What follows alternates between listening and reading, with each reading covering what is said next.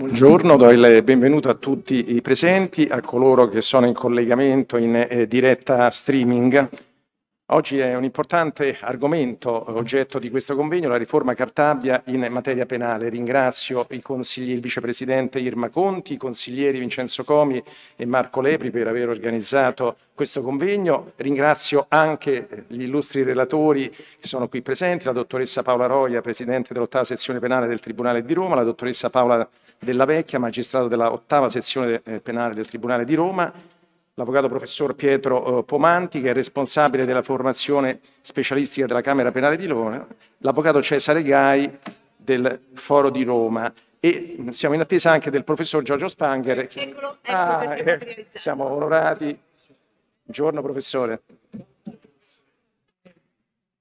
Dicevo, la riforma Cartabia, argomento di grande, di grande attualità. Eh, la riforma si prefigge l'obiettivo di implementare l'efficienza della eh, giustizia eh, penale, addirittura eh, in una rosea previsione ehm, si ritiene che si riteneva che ehm, dovesse accelerarsi eh, la, la, definizione dei processi penali nel 2026 si dovesse ridurre di un 25% la durata. Io auspico che sia così, però come ho detto anche in precedenza Forse prima di procedere a una riforma di carattere processuale si doveva procedere a una riforma di carattere ordinamentale, perché attualmente sappiamo qual è eh, la situazione, lo scoperto degli organici nell'ambito della magistratura, del personale amministrativo. Va anche eh, definito e forse ottimizzato quello che è il sistema eh, telematico e proprio ieri nel corso di una eh, riunione che abbiamo avuto con i vertici dell'autorità giudiziaria penale insieme al Presidente della Camera Penale, e la l'avvocato eh, Scalise, sono emerse delle criticità di non poco conto e che francamente, lo dicevamo prima con Gaetano, ci hanno estremamente, estremamente eh, preoccupato. Eh, tra l'altro anche eh, alcune modifiche importanti di cui alla, alla riforma Cartabia eh, stentano insomma, a, trovare, a trovare attuazione eh, ad esempio anche il, diciamo, i magistrati eh, che sono destinati nell'ambito dei ministeri che potrebbero forse essere utilmente eh, utilizzati nell'ambito della eh, giurisdizione e credo che sotto questo profilo la riforma Cartabia ancora non stia trovando attuazione come sotto tanti altri eh, profili. Quindi benvenga questo convegno per i necessari approfondimenti, sicuramente ci saranno degli importanti spunti di riflessione, quindi non voglio sottrarre tempo agli illustri relatori auguro buon lavoro, mi scuso fin d'ora se fra un po' dovrò allontanarmi per impegni istituzionali. Grazie Presidente, grazie al Presidente Nesta che è qui e, e lo ringrazio davvero per aver inaugurato questo ciclo di incontri sulla riforma Cartabia, questo è il primo, ringrazio tra l'altro i consiglieri Vincenzo Comi e Marco Lepri che mi hanno il privilegio oggi di eh, moderare questa giornata che è uno dei tre incontri che faremo. E ringrazio soprattutto le eccellenti e gli eccellenti relatori. Eh, cominciamo quotidianamente ad affrontare nelle aule di giustizia i problemi applicativi e operativi della riforma Cartabia, dalle notifiche, dalla verifica delle notifiche che sono cambiate ha problemi di depositi di impugnazione fuori sede, visto che è stato abrogato il 164 e il professor Spanger lo sa, ne abbiamo parlato di recente, quindi è abrogato l'ufficio impugnazione fuori sede fisicamente, ma non anche quello del deposito delle copie. Insomma, sono tanti. Noi sicuramente da avvocati affrontiamo con coraggio, come abbiamo sempre fatto, le sfide che eh, ci si pongono dinanzi. Abbiamo affrontato quella della pandemia, ora però con uno spirito certamente da ottimista quale mi contraddistingue, con ottimismo che mi contraddistingue, ma anche il realismo a cui eh, faceva riferimento prima il Presidente Nesta, non può essere una riforma a costo zero a partire dall'organico che, che, è carente, non più mi sembra di aver capito a livello di amministrativi, ma a livello proprio di magistrati e quindi eh, eh, reintrodurre, aumentare, diciamo, consentirci di svolgere la nostra funzione di rango costituzionale, quella della difesa dei diritti e delle libertà e quella della giustizia. Dinanzi a me abbiamo oggi veramente l'eccellenza della magistratura, la stima è, è veramente senza misura, consentire loro loro di fare però, della loro svolgere la loro funzione nel modo più adeguato e nel contesto che una questione così primaria richiede. Adesso senza indugio, quindi ringrazio il Presidente e passo, do solo per un indirizzo di saluto perché poi si dovrà allontanare e lo ringrazio per essere qui, il Presidente della Camera Penale Gaetano Scalise. Prego. Grazie Irma, buongiorno a tutti. Sì, il mio indirizzo di saluto è forse anche un inizio di riflessione su questa riforma Cartabia che eh, obiettivamente è una riforma di sistema, quindi una riforma che coinvolge molti aspetti del nostro codice di rito. Non entrerò molto nello specifico della riforma Cartabia perché altrimenti il professor Spanger poi mi dà un voto come ha fatto in precedenti convegni e quindi già due convegni sono stato sotto la scure del professor Spanger e quindi evito di aggiungere danno a quello che ho già fatto. Però qualche riflessione va fatta. Dicevo una riforma di sistema, una riforma che però forse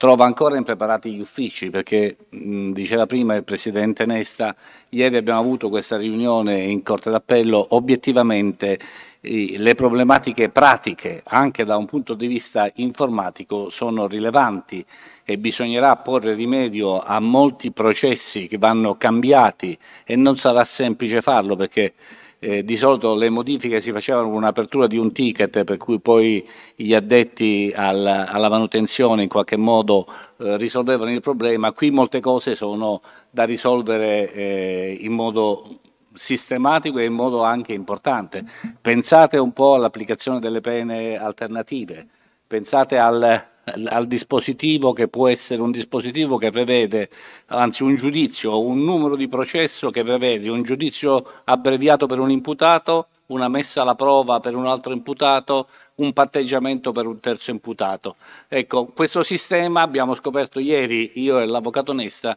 non consente di rubricare tre sentenze con lo stesso numero e quindi questo oggi potrebbe avvenire, prima si faceva uno stralcio a monte e sullo stralcio si operavano le sentenze, oggi potrebbe avvenire nello stesso processo che in quell'udienza vengono decise tre situazioni completamente diverse. Quindi dicevo una problematica che anche da un punto di vista tecnico sarà importante affrontare.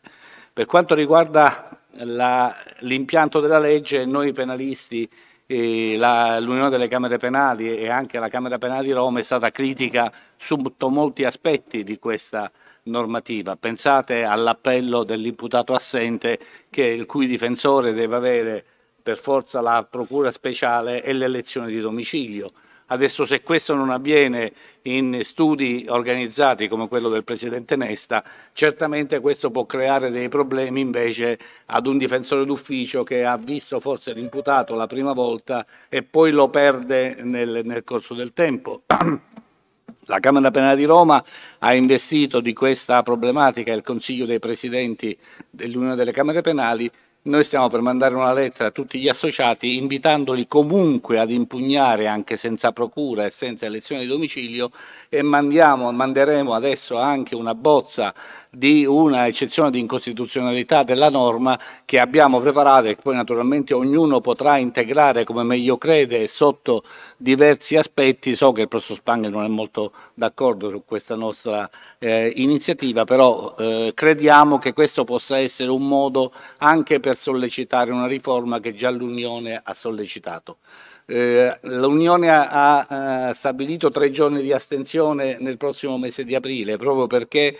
tutte le modifiche che sono state proposte e tutte le azioni che il Ministro ha, eh, si è proposto di fare in tema di giustizia hanno avuto un evidente rallentamento, tutti voi leggete i giornali e quindi sapete bene le cose. È di oggi la notizia che finalmente è stato aperto eh, al Ministero il tavolo tecnico che vede seduti al, eh, in, su, in questo tavolo i rappresentanti dell'Unione delle Camere Penali e insieme con rappresentanti della magistratura e del Ministero e il tavolo è stato denominato tavolo tecnico di consultazione per la riforma del processo penale e speriamo che da questa consultazione tra avvocati, magistrati e eh, magistrati addetti anche al Ministero si possa in qualche modo eh, cominciare a fare delle, delle modifiche che peraltro la legge prevede possano essere fatte sui decreti attuativi nei due anni dalla loro entrata in vigore delle modifiche che in qualche modo ci rendano meno difficile la vita e rendano anche forse meno difficile la vita dei giudici che devono applicare questa riforma. Quindi come vedete i temi sono eh, molti e molteplici, quindi io credo che benvengano tutti questi convegni che noi stiamo organizzando sulla uh, applicazione della legge, sullo, sullo, studio tutti quanti insieme di questa nuova legge che è, entrata, che è entrata in vigore e quindi credo che queste riflessioni siano assolutamente utili per cercare di orientarci meglio tra le pieghe di questa riforma che, ripeto, è una riforma di sistema. Quindi vi auguro buon lavoro, starò qui ad ascoltarvi finché posso, soprattutto ascolterò eh, il professor Spangher che non è d'accordo su molte delle cose che io dico e che di solito poi mi interroga alla fine dei suoi interventi, però oggi spero sia un po' più buono nei miei confronti. Grazie.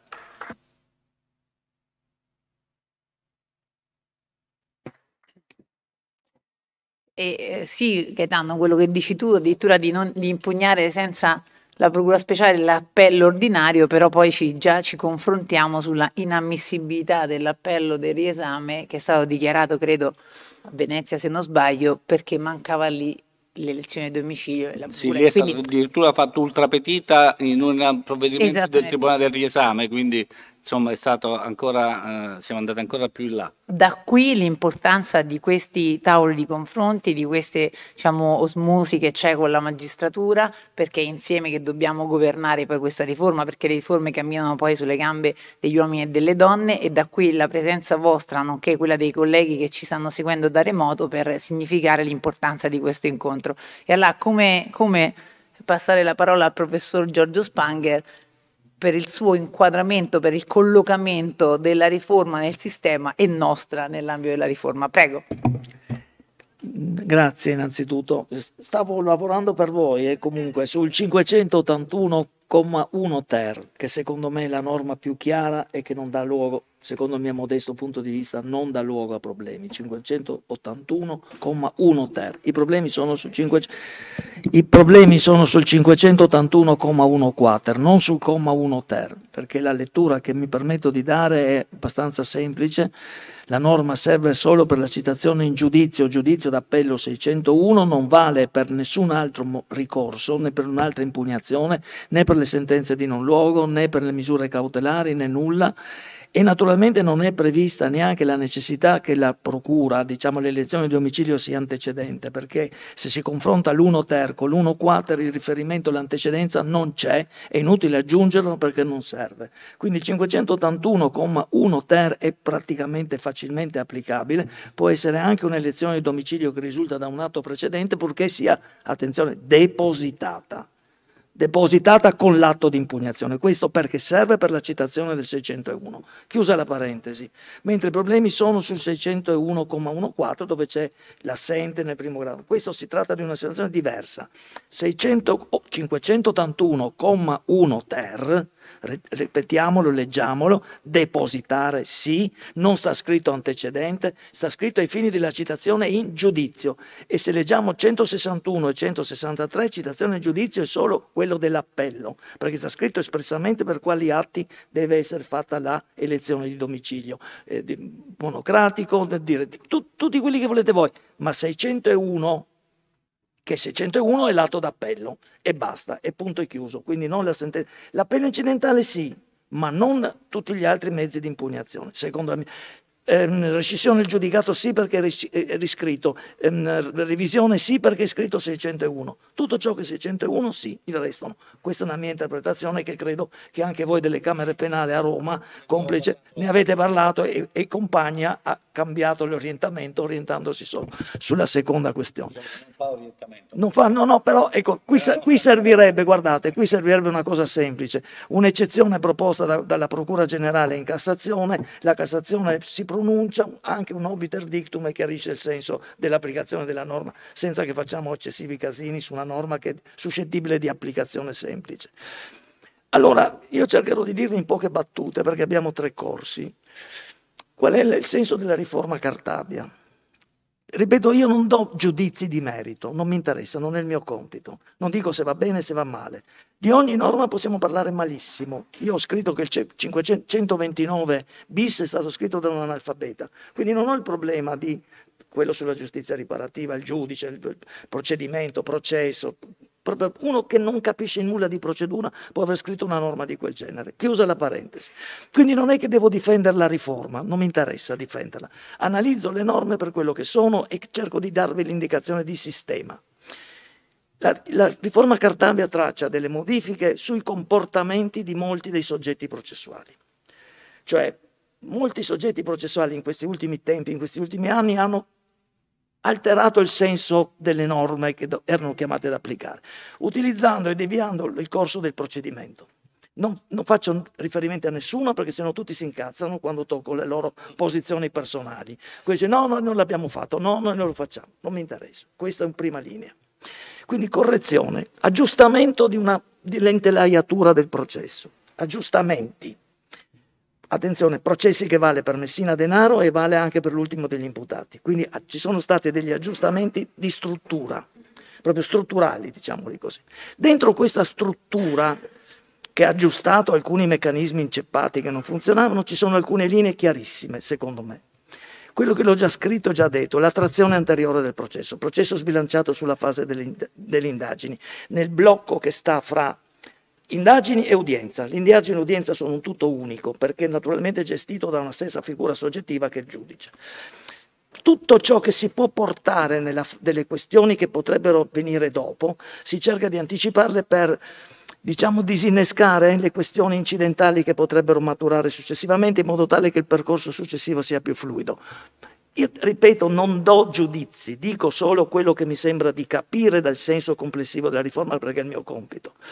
Come professore universitario è compito questo, di capire cosa, cosa, si vuole e qual è la finalità degli istituti e del, e del sistema.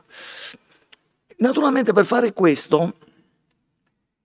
Primo elemento, trazione anteriore, potere di costituzione di parte civile nell'udienza, accertamento dell'assenza, questione rimessa in Cassazione per la competenza territoriale, tutte questioni, deposito delle perizie, tutto prima, nei limiti del possibile, per disinnescare quelle che potrebbero essere delle mine lungo il processo e anche regolando i comportamenti delle parti in modo tale che le parti si comportino più correttamente. È chiaro che spostando il processo, sì, sì, è chiaro, sì, cosa voglio dire non so se a lui o a tutti, in generale, anche a noi, diciamo.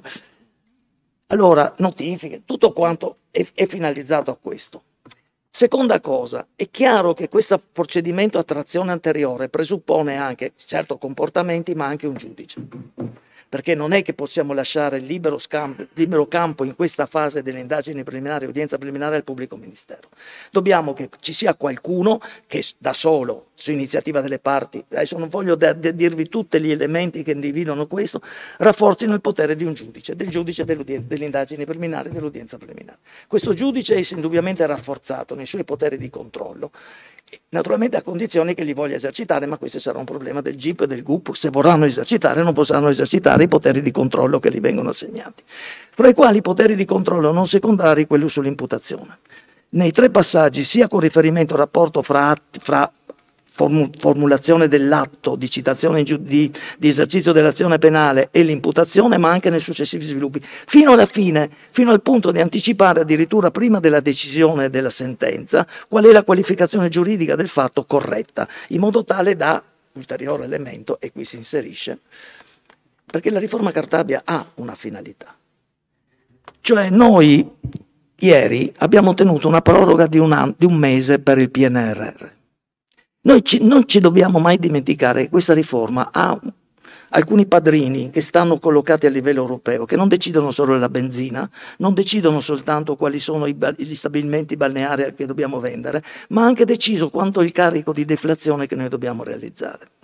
Ai fini di verificare questa deflazione del 25%, il Ministero ha istituito l'ufficio flussi attraverso una serie di domande che dovranno monitorare quant'è la, la tenuta del nostro sistema. Ma ripeto, stiamo attenti, noi dobbiamo assicurare quel risultato processuale. Ma questo mi interessa relativamente. Come viene attuato questo risultato processuale dentro la riforma Cartabia? Eh, viene attuato attraverso gli strumenti di deflazione. Ma cerco di spiegarmi soprattutto agli avvocati perché vorrei essere chiaro. Questi strumenti di deflazione sono alcuni quelli precedenti e già esistenti, patteggiamento e abbreviato e procedimento per decreto, che vengono naturalmente resi più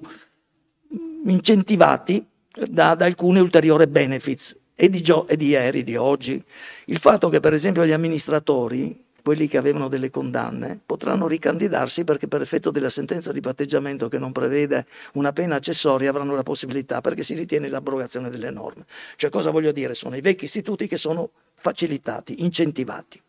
Cioè si cerca di favorire, la... sì sì è scritto eh, comunque ormai, sia le prefetture sia il Ministero degli Interni hanno detto che gli amministratori che non hanno le pene accessorie potranno ripresentarsi nuovamente alle elezioni. Comunque, qualsiasi sia, non mi interessa, è un dato. I vecchi vengono incentivati, ne vengono aggiunti dei nuovi. Vengono incentivati anche la messa alla prova, viene incentivato anche la tenuità del fatto, cioè vengono riscritti, ridisegnati e resi più favorevoli. Per chi? Questo è il problema, è su questo che vorrei insistere, ma non per tutti.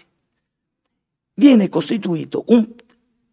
Allora, Tante volte quando vado a fare questi eventi vorrei fare un, un sondaggio.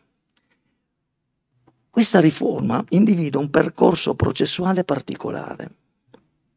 quello dell'imputato imputato di un reato monosoggettivo che sta nella fascia dai 2 ai 4-5 anni. Quello per il quale c'è la possibilità favorita di accedere del fatto, messa alla prova addirittura fino a 6, abbreviato, se lo fa, se lo ritiene, perché uno che prende un abbreviato di 6 anni va a finire a 4 e con la, con la riduzione del sesto del patteggiamento va a finire a 3 anni e 4 mesi.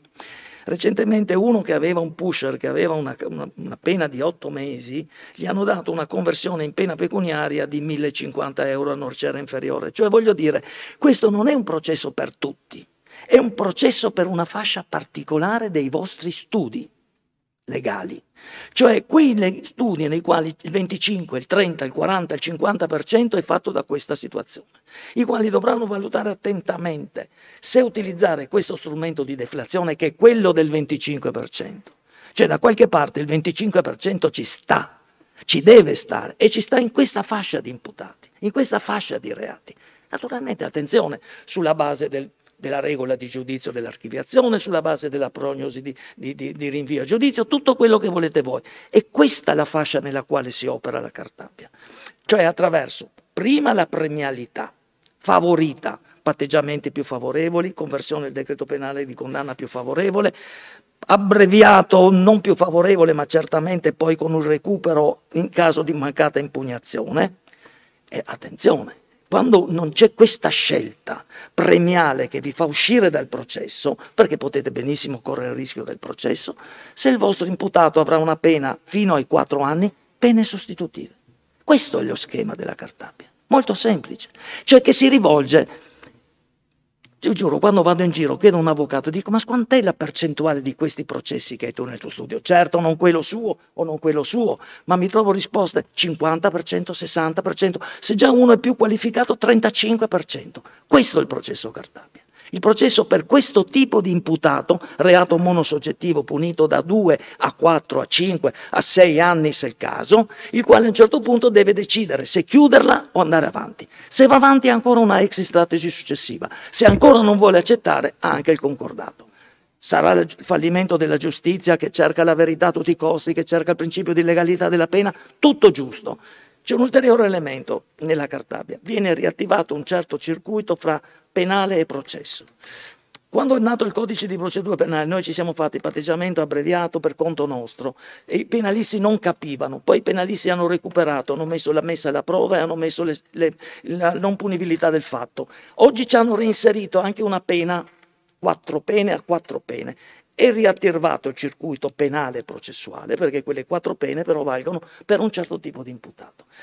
Nei vostri studi, mi riferisco non ai grandi studi, mi riferisco alla grande massa di avvocati, dovranno valutare alla luce delle regole di giudizio del possibile rinvio se chiudere prima o aspettare di chiudere dopo. Non dico che questo sia l'optimum, ma questo è ciò che la riforma vi, vi offre come possibilità. L'ho chiamato anche soave inquisizione, perché è chiaro è una specie di, di ricatto morale. Che... Sì, ho capito, però è una scelta.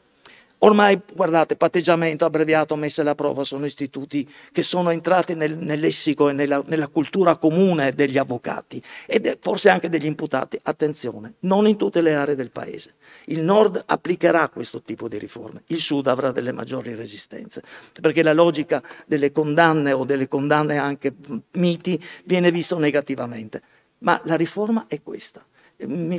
siccome ci sono molti interventi, questa è la mia visione del processo penale. Eh? Chiaro che chiede un avvocato. Ah, un momento, l'ulteriore elemento è questo, attenzione. Il rapporto fra avvocato e imputato diventa più stretto.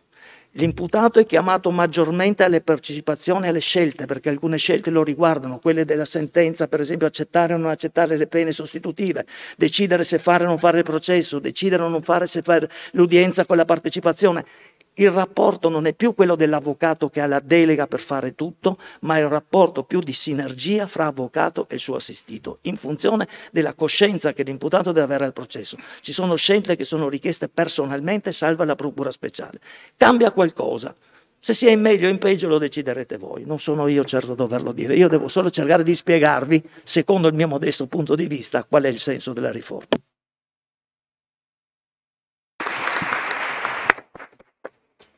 Ringrazio il Presidente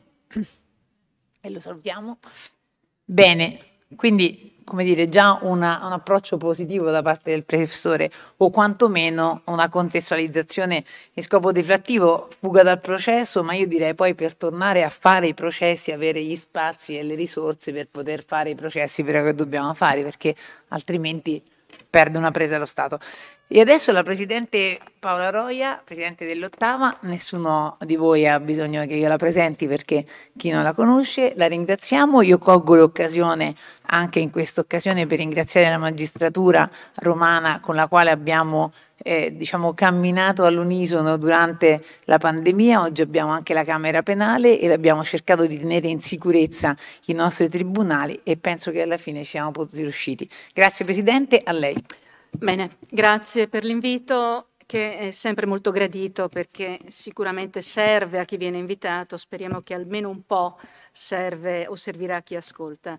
Ehm, proporrò una visione leggermente più disincantata rispetto a quella del professor Spanger, già ci siamo confrontati sulle nostre due diverse opposte filosofie, devo dire, di lettura e concorderemo solo su una cosa alla fine.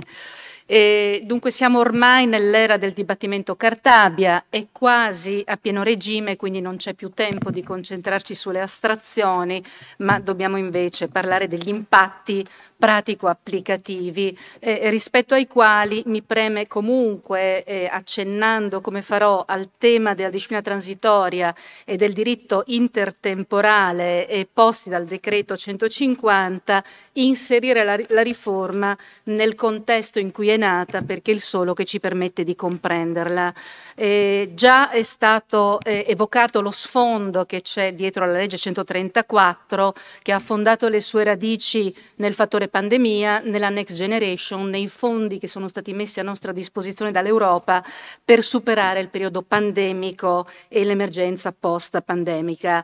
A quel tempo sul tavolo del governo vi era un prezioso strumento di lavoro coevo costituito dai lavori della Commissione Lattanzi che si era conclusa nel maggio del 2021 associato a quello che fu la contemporanea decisa presa di posizione del ministro Cartabia da lei espressa in occasione di un convegno dell'estate 2021 per cui il mantenimento dello status quo non può essere un'opzione sul tavolo.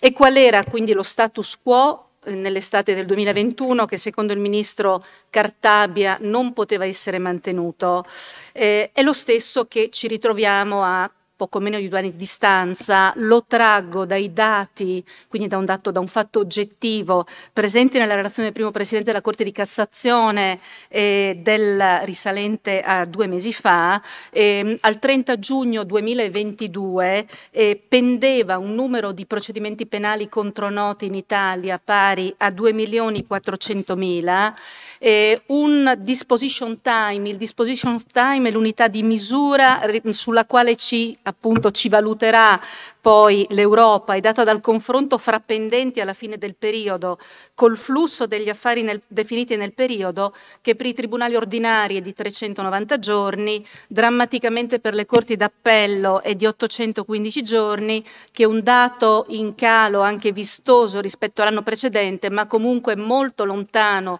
dalla milestone. Stone. La milestone è il punto in cui dovremo arrivare il 30 giugno 2026 per poter mantenere sostenere i fondi che nel frattempo sono stati anticipati e che si esprime nella cifra di 601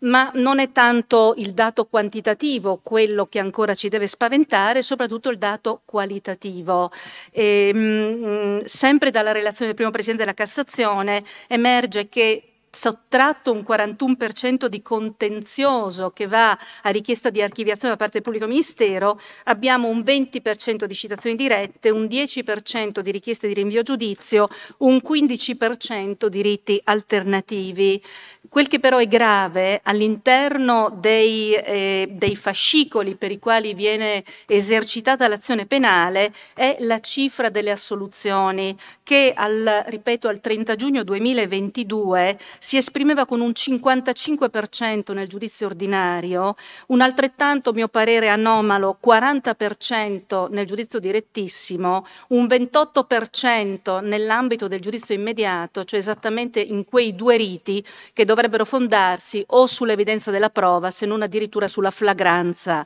del reato. Ecco, è il quadro che tuttora, eh, che tuttora viviamo e che e testimonia da un lato l'incapacità del sistema giudiziario di assicurare risposte tempestive a una domanda di giustizia penale che resta sempre troppo elevata, ma dall'altro lato documenta anche l'inefficienza del meccanismo di selezione delle notizie di reato da parte delle, delle procure rispetto alle quali viene esercitata l'azione penale. Ecco, mi sono permessa l'illustrazione di questi dati che eh, sono eh, eloquenti per capire perché il Ministro disse che il mutamento dello status quo non era un'opzione eh, praticabile, ma anche perché solo questi numeri ci permetteranno di operare alcune valutazioni tecniche in punto operatività di alcuni istituti che riguardano il dibattimento e che non si comprenderebbero se non avessimo chiaro la genesi e l'anima della riforma. D'altra parte non si tratta di una illazione, di una deduzione. La legge 134 di delega si intitola Delega al governo per l'efficienza del processo penale e disposizioni per la celere definizione dei procedimenti giudiziari, per cui null'altro dobbiamo cercare sostanzialmente quando andremo a confrontarci sulla filosofia retrostante i nuovi istituti. E allora quali sono le misure acceleratorie ed efficientiste che riguardano il dibattimento e che impatto possono avere, ma anche che criticità possono presentare. Mm, ragioni di tempo, ma non solo ragioni di tempo, mi impongono di soffermarmi soprattutto sul rito monocratico, perché il rito monocratico che fa numeri è quello che pesa di più in questo bilancio negativo e all'interno del rito mono monocratico la citazione diretta che esaurisce i due terzi del carico di lavoro perché la forma in assoluto più frequente di esercizio dell'azione penale soprattutto a Roma, lo sarà ancora di più dopo l'implementazione dell'articolo 550 del Codice di procedura penale. Quindi sono costretta a trascurare tutto quel che poi arriva a dibattimento, in particolare gli sbarramenti cui pure il professor Spanger ha, ha, ehm, ha fatto riferimento, previsti per l'udienza preliminare ad esempio il limite alla questione di parte civile, la sedimentazione sulla formulazione dell'imputazione, il potenziamento dei riti, in particolare dell'abbreviato, o il rinvio pregiudiziale alla eh, Corte di Cassazione per le questioni di competenza. Eh, Trascuro anche, anche, qui per ragioni di eh, sintesi, istituti che sono importanti nel dibattimento, benché in forma ancillare. Eh, ad esempio il processo penale telematico sarà, è oggetto di disciplina transitoria presa negli articoli 85 seguenti del decreto 150, avremo tempo quindi di parlarne, avremmo tutto l'anno. Sapete che la disciplina transitoria è stata profondamente innovata dalla, eh, dal decreto legge 162 31 ottobre del 2022, convertito a sua volta con modifiche sulla novella nella legge 199 del 2022.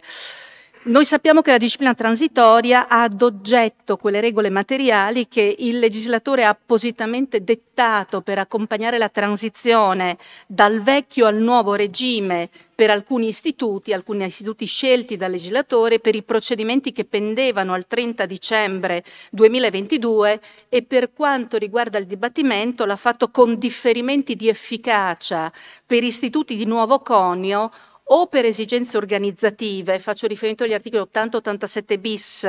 eh, come introdotti dalla legge 199 in tema di processo penale telematico, compreso il regime delle notificazioni e del deposito di atti e di memorie che verrà avviato al quindicesimo giorno successivo alla pubblicazione del regolamento ministeriale per il quale il legislatore si è preso un anno, quindi entro il 30 dicembre 2023, con proroga tra l'altro sino ad allora delle disposizioni vigenti in tema di deposito di atti, documenti e istanze, ma anche di notificazioni.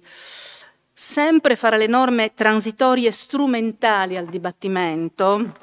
Ricordo quella in tema di dichiarazione di assenza, articolo 89, per le dichiarazioni di assenza già dichiarate appunto al momento dell'entrata in vigore eh, della riforma e a seguito della legge 199 che se n'è ricordata perché mancava la norma transitoria, anche la disciplina in materia di udienza predibattimentale, articolo 89 bis, che è operativa, sarà operativa o è operativa per i decreti di citazione emessi dopo il 30 dicembre 2022. In concreto il Tribunale di Roma partirà con le prime predibattimentali a settembre 2023, salvo i cautelati o le misure cautelari per cui eh, l'udienza viene anticipata da maggio 2023 in poi chiudono le norme transitorie di interesse, quella importantissima in tema di mutamento della persona fisica del giudice in corso di dibattimento, articolo 495,4 ter, che in virtù dell'articolo 5 deces della legge 199 non si, non si applica per le prove dichiarative assunte fino al 1 gennaio 2023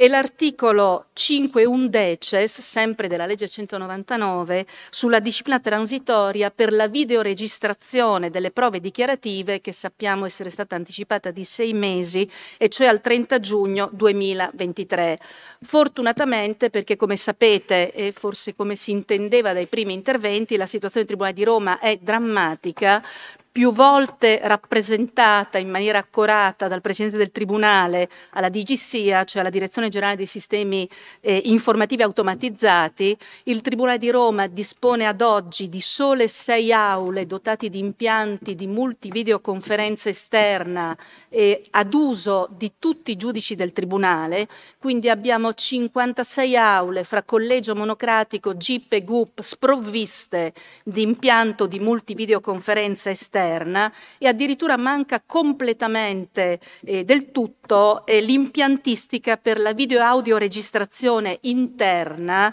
eh, eh, per tutto il Tribunale di Roma, per cui se la riforma fosse già eh, operativa il Tribunale di Roma si troverebbe completamente impreparato ad affrontarla. Vedremo se al 30 giugno 2023 qualcosa sarà cambiato.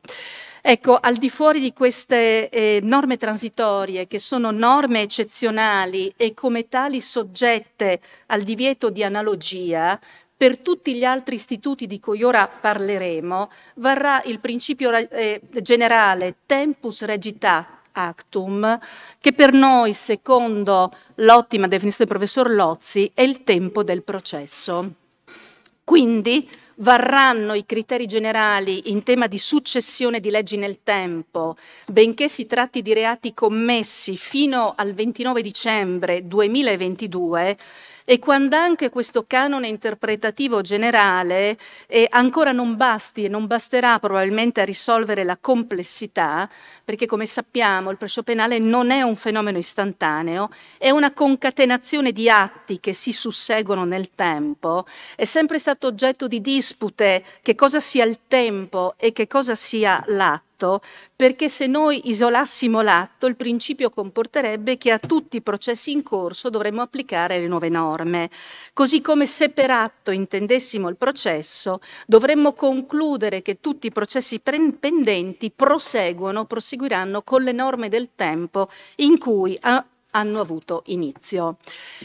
E questo lo dico perché siamo noi giudici eh, più o meno investiti da istanze difensive che devo dire talvolta in maniera confusa pretendono l'applicazione retroattiva di tutta una serie di istituti in corso di giudizio. Eh, il più importante è la restituzione in termini per il giudizio abbreviato piuttosto che per l'applicazione della pena. Ricordo che circa una decina di giorni fa la mia sezione ha elaborato un provvedimento molto articolato e molto motivato in senso negativo su una richiesta di restituzione in termini per applicazione pena a dibattimento in corso. Altrettanto ci giungono istanze così un po',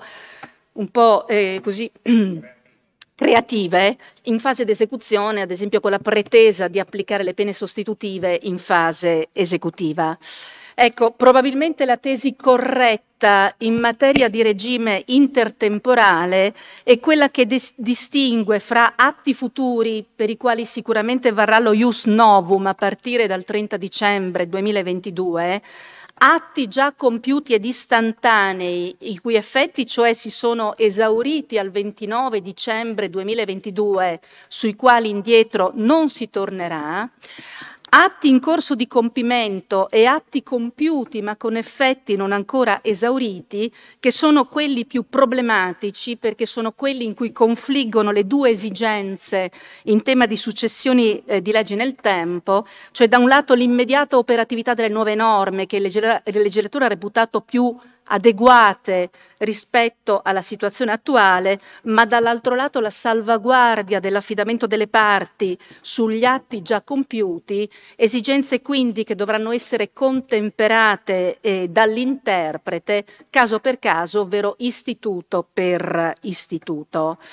E allora vediamo eh, velocemente di fare una scorsa sul regime intertemporale di quello che è entrato immediatamente in vigore eh, nell'ordine codicistico, cioè nell'ordine eh, utilizzato dal codice per l'esposizione. E questo a partire dalle norme in tema di organizzazione del dibattimento 477, ossia la norma sulla calendarizzazione necessaria di tutti i processi. Io ho già avuto modo di esprimermi criticamente su questa norma, lo rifaccio. Eh, a mio parere ingessa, appesantisce i ruoli, c'è una specie di eterogenesi così eh, dei risultati, perché impedisce quel minimo di discrezionalità operativa che il giudice esperto si conserva, si conserva perché ti consente di, rende se di rendere sempre utile l'udienza, cioè di ovviare a rinvii imprevisti, ad assenze del testimone,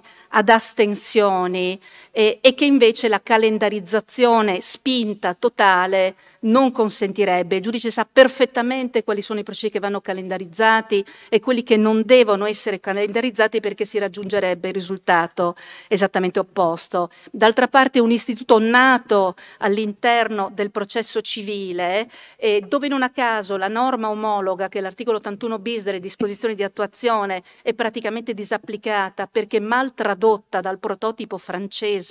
cui ci siamo ispirati, ma nel processo penale è incompatibile con l'imprevedibilità che il giudizio penale porta con sé, compresi i poteri ufficiosi del giudice che non sono preventivabili. E, ehm, è immediatamente entrata in vigore la nuova disciplina sulla costituzione delle parti e sul processo in assenza, salvo, dicevo, le eh, dichiarazioni di assenza già pronunciate, quindi articoli 420 bis e seguenti, eh, così come operativa, benché devo dire ancora abbastanza sconosciuta eh, nelle aule, la reintroduzione dell'illustrazione delle richieste di prova, articolo 493, in punto ammissibilità delle prove, non in punto rilevanza, aula. E anche qui il legislatore pensava di darci una mano, ma non credo troppo, perché anche questa norma non offre al giudice poteri in termini di snellimento, a questo mirerebbe, snellimento diciamo nell'indicazione dei mezzi di prova da ammettere eh, e non offre poteri di selezione del materiale probatorio al giudice eh, superiori rispetto alla norma invece molto più efficace, molto più utile perché esercitata con cognizione di processo, che è quella dell'articolo 495,4 che autorizza il giudice in corso di dibattimento a revocare prove superflue o ad ammettere prove già escluse ancora immediatamente operativa e anche qui non ne vediamo ancora eh, molti effetti pratici, la norma sul deposito anticipato della relazione scritta di periti consulenti 501,1 bis del codice di procedura penale che devo dire per la mia esperienza si rivolge fondamentalmente eh, alle difese perché il potenziamento del contraddittorio informato sulla prova tecnica e scientifica già esisteva tranquillamente nella prassi delle aule giudiziarie giudiziarie con la richiesta che viene fatta al perito di depositare in anticipo la sua relazione in modo da consentirne la presa di visione informata appunto ad opera delle parti, la consulenza tecnica del pubblico ministero è disponibile fin dalla fase delle indagini preliminari, per cui devo dire è una norma che si dirige prevalentemente, eh, sollecita una migliore organizzazione difensiva perché ancora oggi i difensori depositano la loro relazione dopo aver fatto sentire il eh, consulente. Sarà importantissimo a breve la disciplina sul mutamento del giudice, dove si combinano due norme, il 495,4 ter, cui abbiamo accennato prima in tema di disciplina transitoria, l'articolo 510,2 bis in tema di documentazione eh, dell'attività appunto d'aula, che a far data dal 30 giugno 2023, l'abbiamo detto, prevede la riproduzione audiovisiva da chiunque, eh, da chiunque sia resa la prova dichiarativa. È una norma questa con cui si è tentato un bilanciamento fra i principi espressi a sezioni unite nel 2019 dalla famosa Bairami e dalla non casuale sentenza di inammissibilità coeva della Corte Costituzionale, la numero 132, che aveva scrutinato le presunte incongruità del diritto vivente rispetto al disposto dell'articolo 525 secondo comma, secondo cui il giudice della prova deve essere anche il giudice della decisione. Ecco, devo dire che le prime interpretazioni che si sono affacciate sul significato del 495,4 ter, al di là dei nostri problemi contingenti di dotazioni strumentali che però prima o poi verranno risolti. Cioè le prime letture secondo cui il giudice del dibattimento non potrebbe in alcun modo vagliare la richiesta di rinnovazione della prova dichiarativa che non sia stata videoregistrata sono ragionevolmente da respingere. Ci sono molti argomenti che potrebbero essere addotti rispetto a questa conclusione, eh, ne cito soltanto uno tutto il sistema e letteralmente l'articolo 495,4 ter ruota intorno all'interesse alla rinnovazione, l'interesse alla rinnovazione, per cui ferma la deroga e non è cosa da poco dell'articolo 190 bis che per tutta una serie di processi eh, è rimasto inalterato, potremmo prospettare una situazione di questo tipo dove il mutamento del giudice avverrà in processi in cui è stata ritualmente effettuata la videoregistrazione delle testimonianze o comunque della prova dichiarativa in genere, il giudice potrebbe comunque disporne d'ufficio la riassunzione, ma solo quando lo riterrà necessario sulla base di specifiche esigenze. Già si discute, si sostiene da parte di alcuni, se non vi sarà anche un obbligo di visione in contraddittorio in aula della prova videoregistrata assunta davanti a giudice diverso. Dove poi invece il mutamento della persona fisica interverrà in processi in cui la videoregistrazione non è stata eseguita, non c'è dubbio che le parti avranno diritto a chiedere la rinnovazione quando anche non si tratti di testi indicati nella propria lista. E già questa è una significativa distanza rispetto alla Bairami. E, e lo potrà fare allegando elementi a sostegno dello, di uno specifico interesse non in termini di necessità necessità, come nel caso della prova videoregistrata, ma semplicemente in termini di utilità.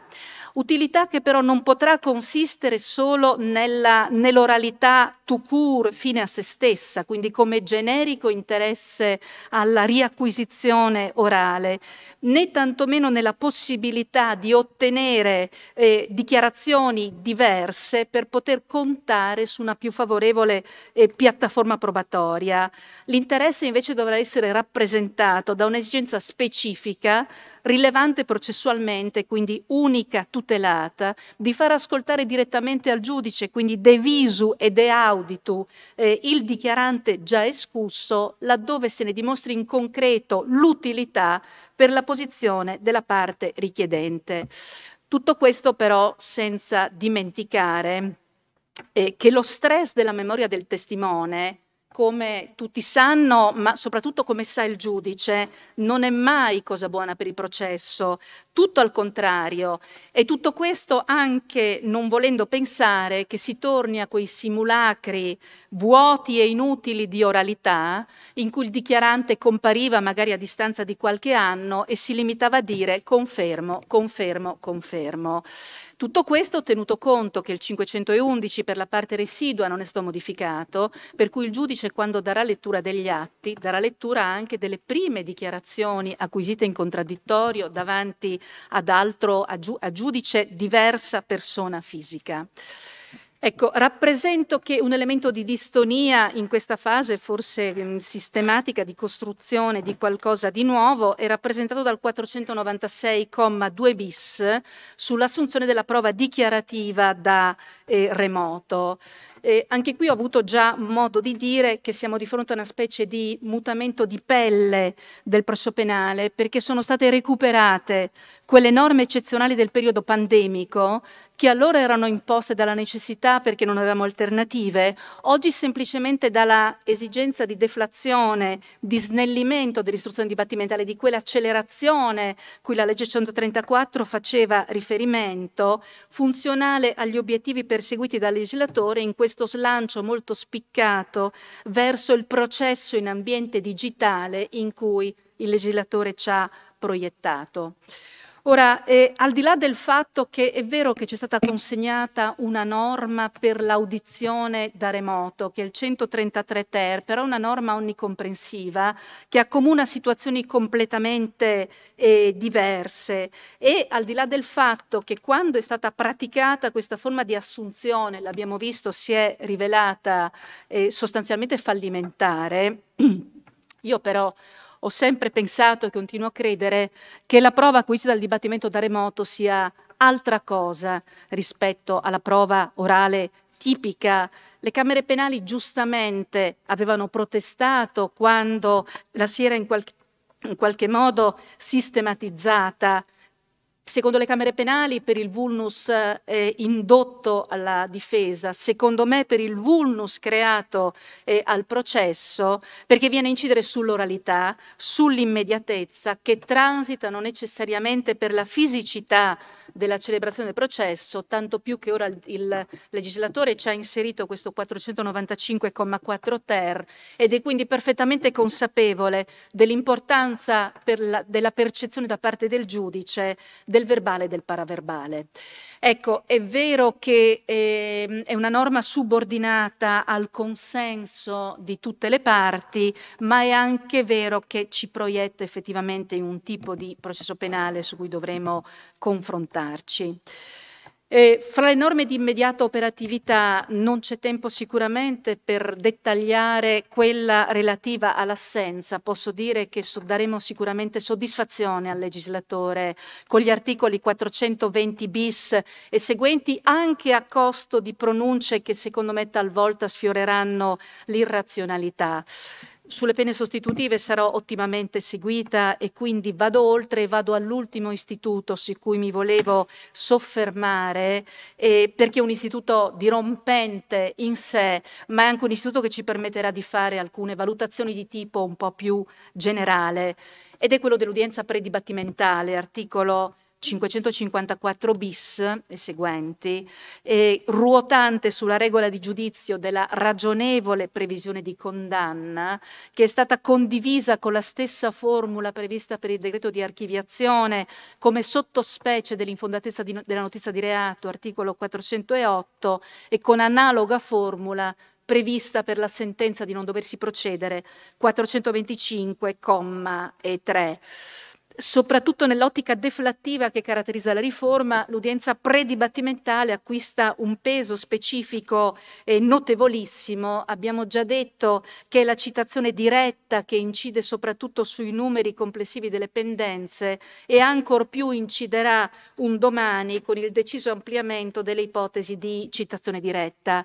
e che per il legislatore sia istituto assolutamente centrale nella sua, eh, nella sua visione è dimostrato dal fatto che proprio sull'udienza predibattimentale si scarica quasi completamente la, diciamo, la totalità degli istituti riformati e potenziati dal decreto Cartabia, dalla costituzione delle parti alla verifica sull'assenza consapevole dell'imputato e l'eventuale de declaratoria di assenza, in, scusate, in ass l'eventuale declaratoria di non doversi procedere per assenza impediente, articolo 424, era la trattazione delle questioni preliminari sino appunto per il monocratico al rinvio pregiudiziale alla Corte di Cassazione sulla competenza per territorio, agli effetti dell'ampliamento notevole delle ipotesi di procedibilità querela, affidando una funzione conciliativa al giudice del predibattimento e quindi ampliando le possibilità di remissione di querela, ma anche di estinzione del reato per condotta riparatoria. Eh, si porrà in termini problematici il tema del 131 bis,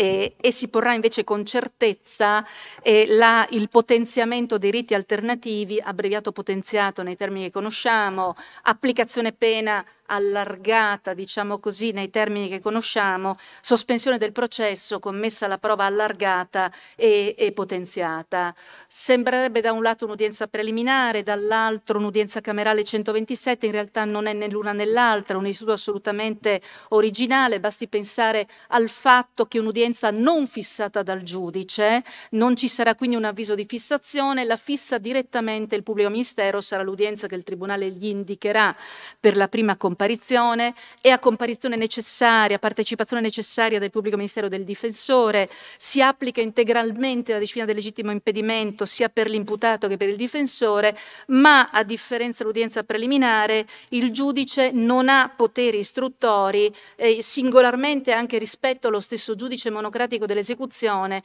che ai sensi dell'articolo 166,5 ha piena facoltà di integrazione e probatoria anche nell'incidente di esecuzione. E tutto questo perché a ben vedere si tratta di un'udienza camerale eh, che già deve considerarsi giudizio e dibattimento, è ricompresa nell'ambito del titolo secondo del libro settimo, è un'anticipazione in qualche modo, possiamo ritenerla atto introduttivo al dibattimento, viene celebrata dallo stesso organo dibattimentale, benché eh, quale diversa persona fisica, organo del dibattimento, giudice del dibattimento che è dotato di ampi poteri istruttori, ma solo a partire dalla fase immediatamente successiva successiva alla dichiarazione di apertura del dibattimento. Eh, non è prevista una fase di discussione come in udienza preliminare,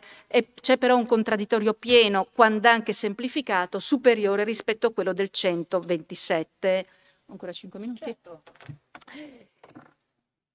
che ehm, il, ehm, diciamo, il, giudice del predibattimento disponga di ampi poteri è dimostrato dalla base probatoria su cui eserciterà le sue valutazioni sulle quali arriviamo fra un attimo. Eh, il pubblico ministero anche in questo momento continuerà a formare il doppio fascicolo, come fa ora, continuerà a formare un fascicolo che va al giudice del predibattimento, unilateralmente formerà a differenza di quanto viene nel 431, il fascicolo che va e andrà al giudice del dibattimento, su questo le parti potranno discutere davanti al giudice del predibattimento sulla sua formazione, dopodiché il dibattimento proseguirà davanti appunto a un giudice altra persona fisica, il fascicolo su cui il, il giudice del predibattimento ha esercitato le sue valutazioni ritornerà laddove non si giunga a un epilogo decisorio, ritornerà al pubblico ministero.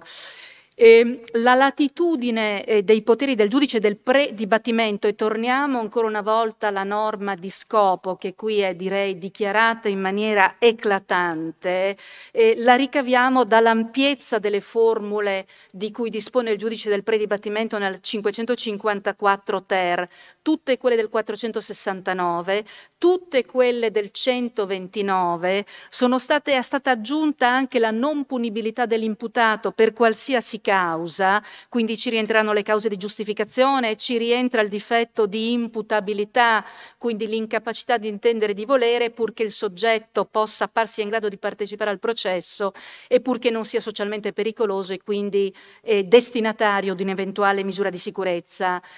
A differenza del 129 addirittura non è stata neanche replicata la norma sull'evidenza della sussistenza delle cause di proscioglimento, quindi il giudice l'applicherà anche se non è evidente la causa di proscioglimento. Ma non c'è dubbio, e questo è l'ultimo argomento davvero che volevo affrontare, che l'epilogo più problematico e davvero più eh, dirompente è il non luogo a procedere per ragioni probatorie previsto nell'articolo 554 ter, comma 1, secondo, eh, secondo periodo.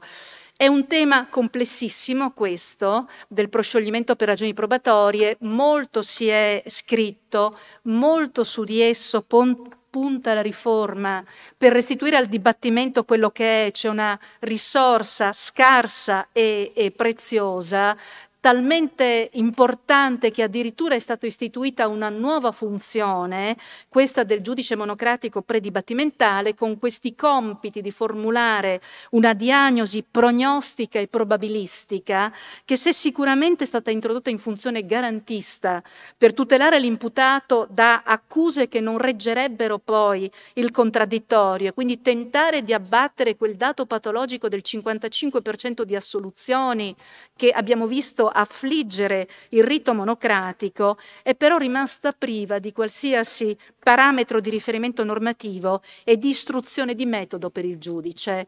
Dico solo, segnalo solo un paio di incertezze del legislatore. Una, il disallineamento che è almeno apparente fra i presupposti per la sentenza di non luogo a procedere, laddove non sia formulabile una ragionevole previsione di condanna, e i presupposti per revocare questa sentenza 554 quinques, eh, che si potrà avere laddove vi sia la sopravvenienza o la scoperta di nuove prove che possono determinare l'utile svolgimento del giudizio e quindi senza una valutazione ponderale dell'effetto della scoperta delle nuove prove o comunque della sopravvenienza, tra l'altro, apro e chiudo parentesi, a differenza delle sentenze di proscioglimento in esito al giudizio abbreviato, benché inoppugnabile, è una sentenza che non sarà mai irrevocabile e quindi sarà priva dell'attitudine al giudicato ai sensi degli articoli 651 e seguenti, con tutto quello che ne conseguirà, ad esempio,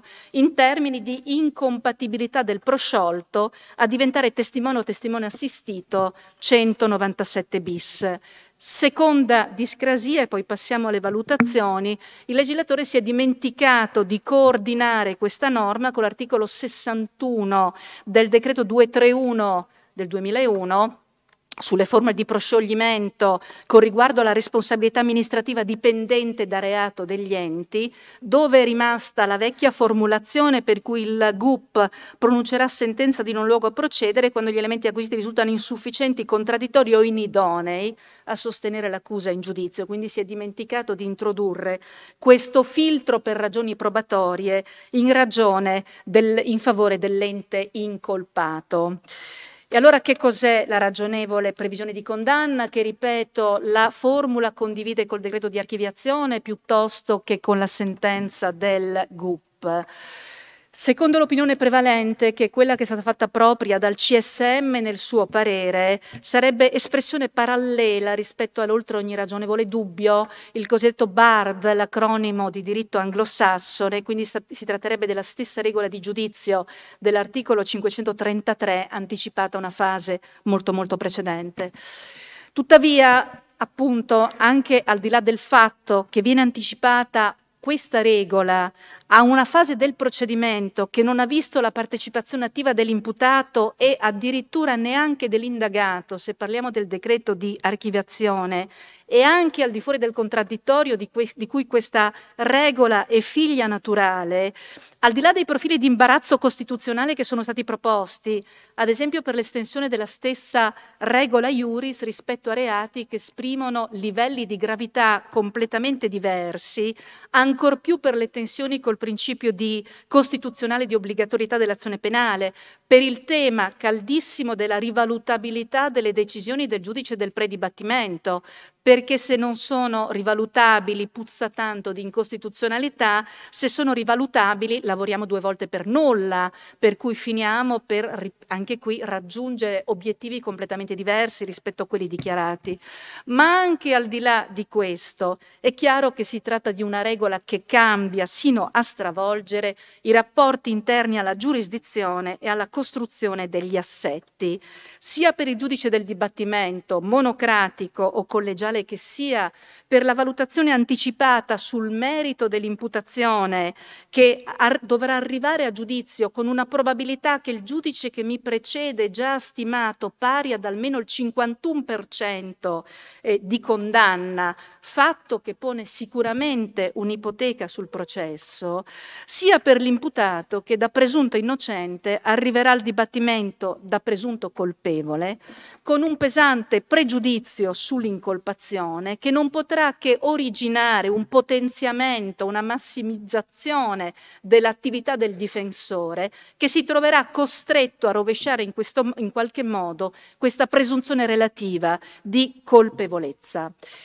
Non solo, ma anche operativamente sono molto diversi gli strumenti in mano al GIP in fase di indagini, invece di una richiesta di archiviazione, al GUP invece di una richiesta di rinvio a giudizio rispetto all'assenza totale di poteri di cui dispone il giudice del predibattimento. E questo perché forse il legislatore non si è reso conto che le pronunce assolutorie che si vorrebbero ricondurre a percentuali ragionevoli e accettabili stabili sono normalmente frutto di regole dibattimentali, di controesami efficaci fatti dalla difesa, di prove a discarico che non sono neanche ipotizzabili a priori e quindi staremo a vedere sull'impatto deflattivo che potrà avere questo passaggio di predibattimentale rispetto al quale al momento possiamo esprimere una sola certezza, cioè costerà moltissimo all'organizzazione, soprattutto nei tribunali medio-piccoli dove sarà difficile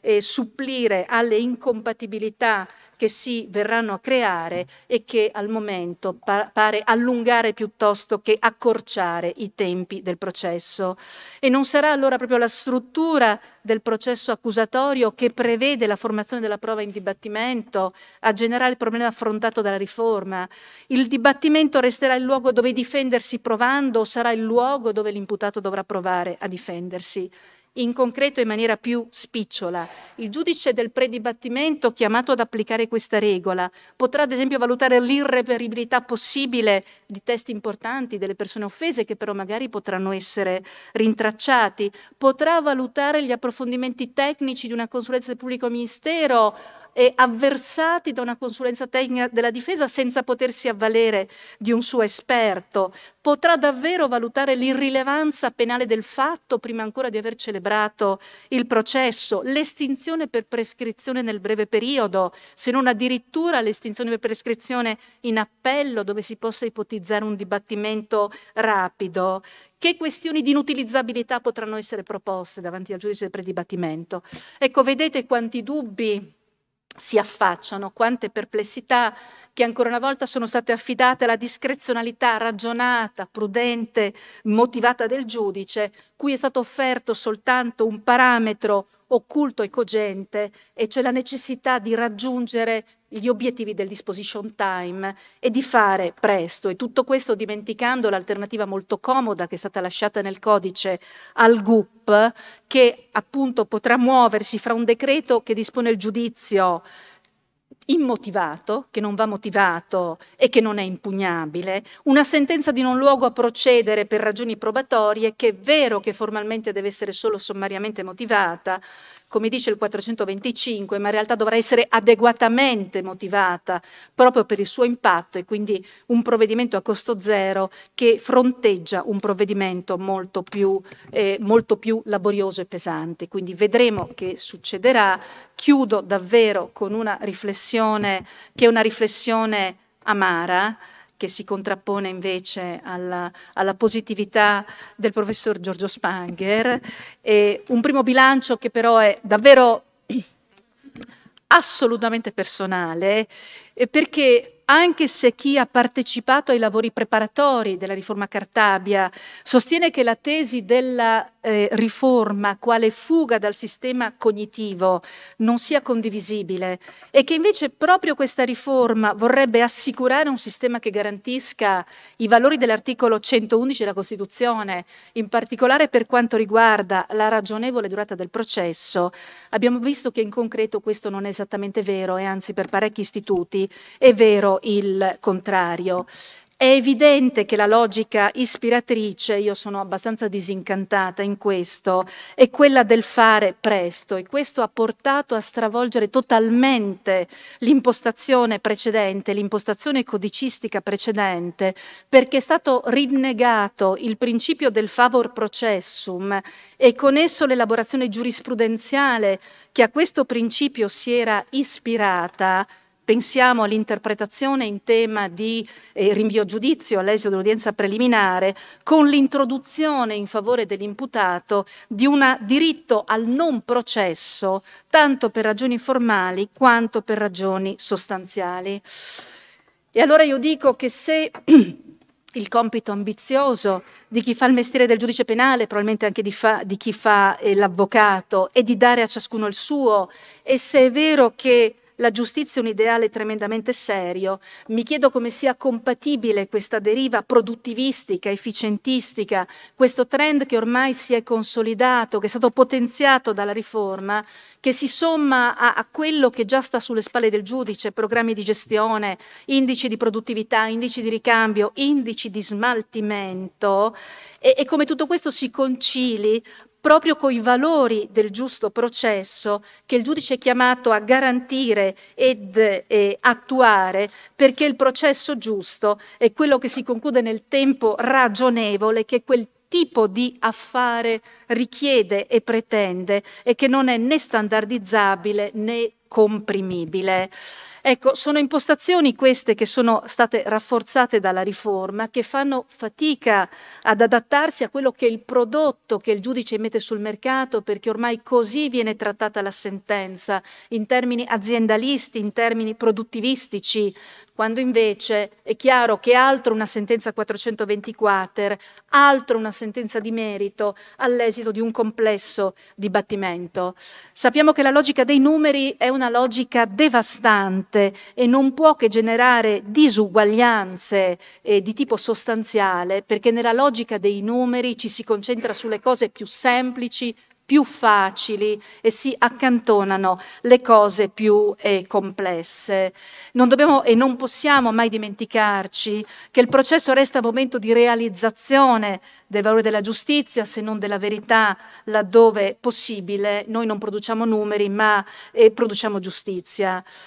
Ciononostante, anche in questo contesto e anche con questa amarezza, siccome il giudice è soggetto soltanto alla legge, lo è sicuramente, lo sarà anche in questo caso. E allora chiudo con uno slancio ottimistico che traggo sempre dalla relazione del primo Presidente della Corte di Cassazione, una citazione che campeggiava appunto nella prima pagina e che è di Italo Calvino Non credo a niente che sia facile, rapido, spontaneo, improvvisato, approssimativo. Credo nella forza di ciò che è lento, calmo, ostinato, senza fanatismi né entusiasmi. E allora vedremo i risultati che la comune forza della nostra lentezza, della nostra calma e della nostra ostinazione riusciranno a produrre. Chiedo scusa se poi...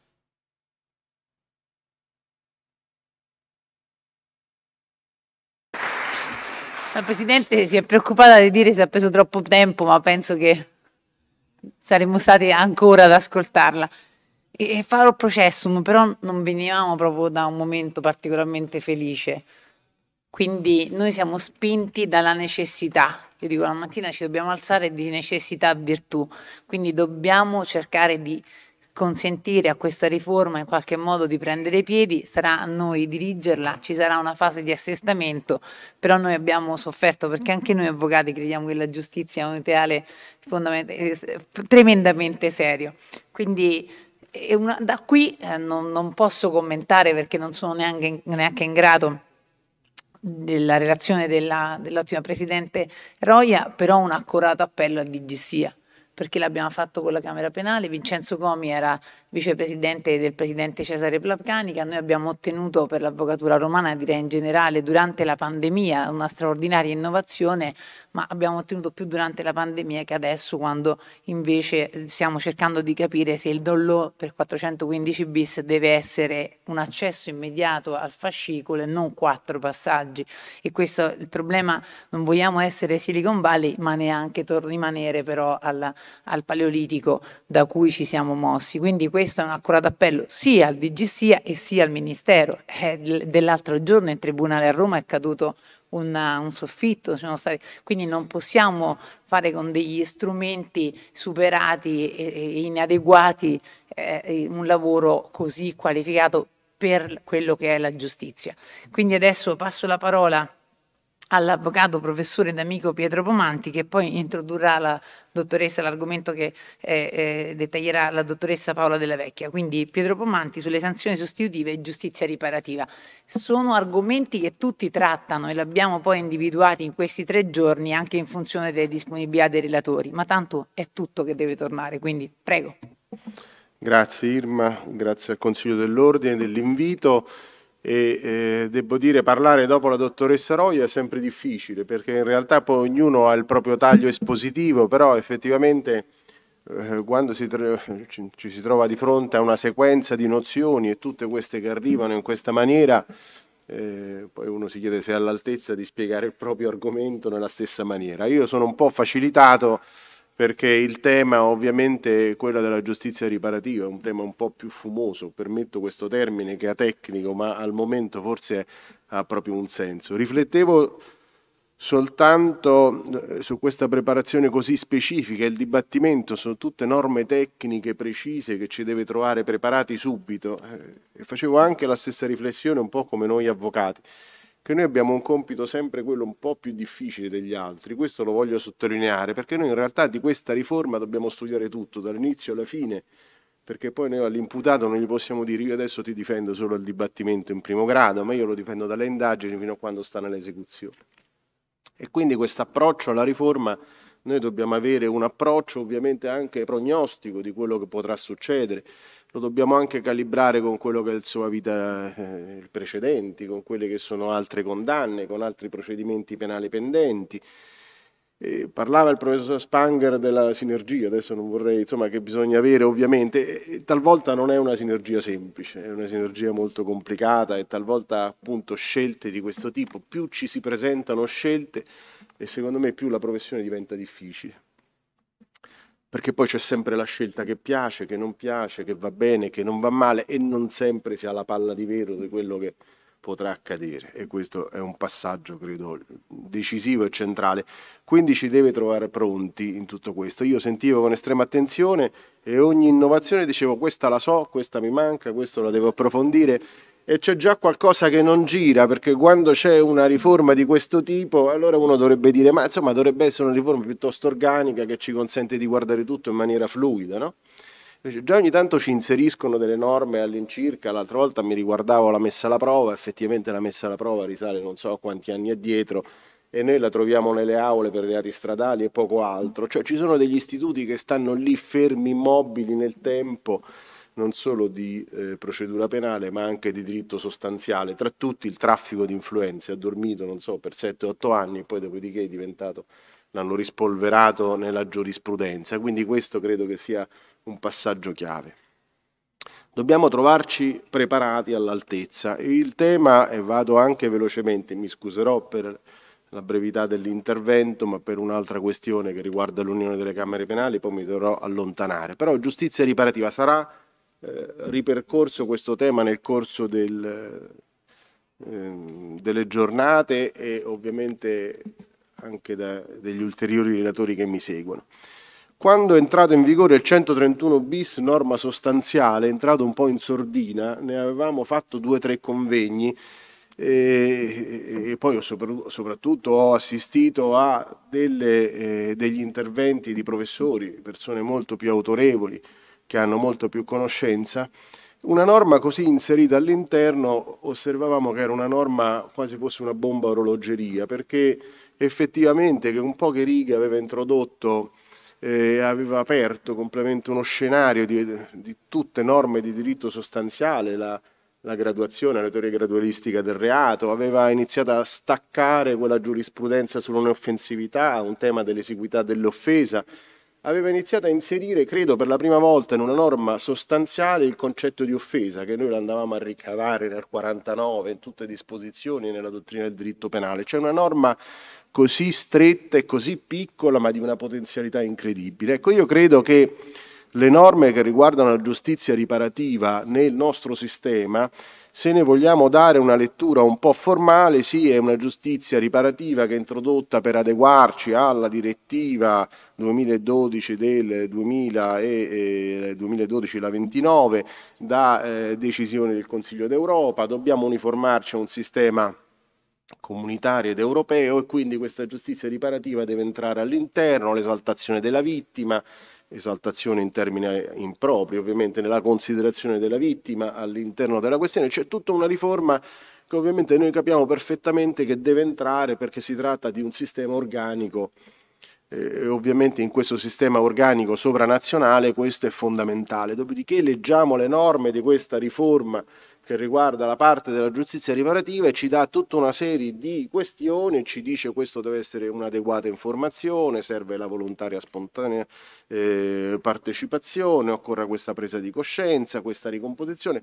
tutte norme che sono perfette, se non, se non anche leggendo che effettivamente questa indicazione della riparazione, questa giustizia riparativa che eh, mal si concilia con una giustizia punitiva che è quella nostra, cioè quella della pena, ci lascia a un certo punto un attimo eh, un po' spiazzati, diciamo. Quanti tutti noi abbiamo studiato sul profilo dell'offesa, l'offesa, il reato, fatto offensivo tipico, l'offesa al bene giuridico, i valori, il valore che ci porta avanti e a un certo punto c'è questa diciamo, indicazione e considerazione di questi valori che sono al centro delle fattispecie, adesso ci chiedono un attimo di spostare l'attenzione invece su scendere un po' di livello e andare su una sorta di eh, giustizia riparativa e quindi che eh, non, letto tra gli interventi c'è uno del professor Bartoli sul sistema penale in particolare molto, molto efficace, si dice a un certo punto che ci dobbiamo voltare su un sistema che è quasi incompatibile con tutto quello che abbiamo visto prima, cioè concentrare un po' più l'attenzione tra eh, quelle che sono eh, i rapporti tra la vittima e l'autore dell'offesa, recita la norma, sia pur non solo sul piano privatistico, ma con l'ausilio di soggetti terzi, tra cui il mediatore imparziale, eh, si chiede anche un contesto di socialità, per esempio i familiari, e tutto questo all'interno di un subprocedimento, certamente non penale, che tende alla riparazione. E allora noi dobbiamo capire, ma questa giustizia riparativa dove la collochiamo in effetti? Cioè ci piace tutto questo sistema, siamo pronti ad affrontarlo, ma dove lo andiamo a collocare nelle norme condicistiche? Perché a un certo punto diciamo è ancora non entrata in vigore, tutte queste disposizioni iniziano qui a giugno, che dovrebbero iniziare a giugno del prossimo anno, il giugno del corrente anno,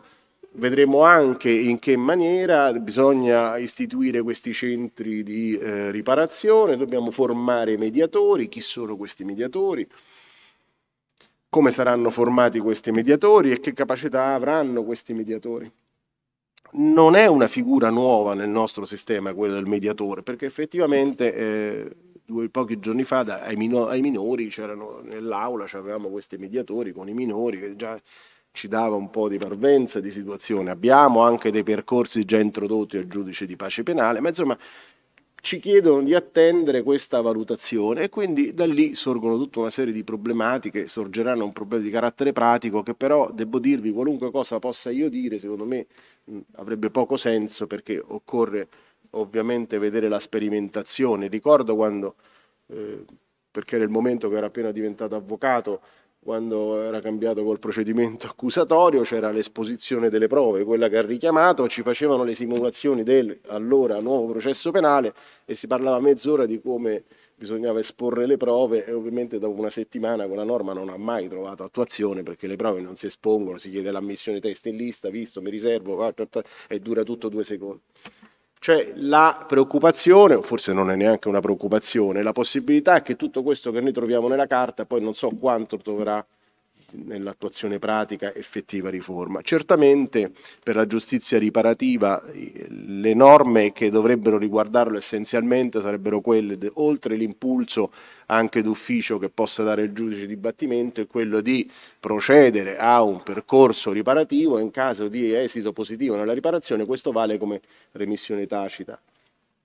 della querela. Ci potevamo arrivare, però possiamo anche riflettere che per poter fare un percorso riparativo con un esito favorevole ci deve essere la disponibilità della persona offesa e quindi se noi abbiamo la disponibilità della persona offesa possiamo fare anche una remissione di querela senza fare nessun percorso, per dirla in maniera un po' più semplice. Poi ci si dice no, ma può valere comunque perché tu puoi avere l'attenuante della riparazione, in questo caso non solo di carattere patrimoniale, articolo 62 numero 6, ma se tu adotti o comunque esplichi un percorso riparativo con un esito favorevole, hai la possibilità di avere questa attenuante.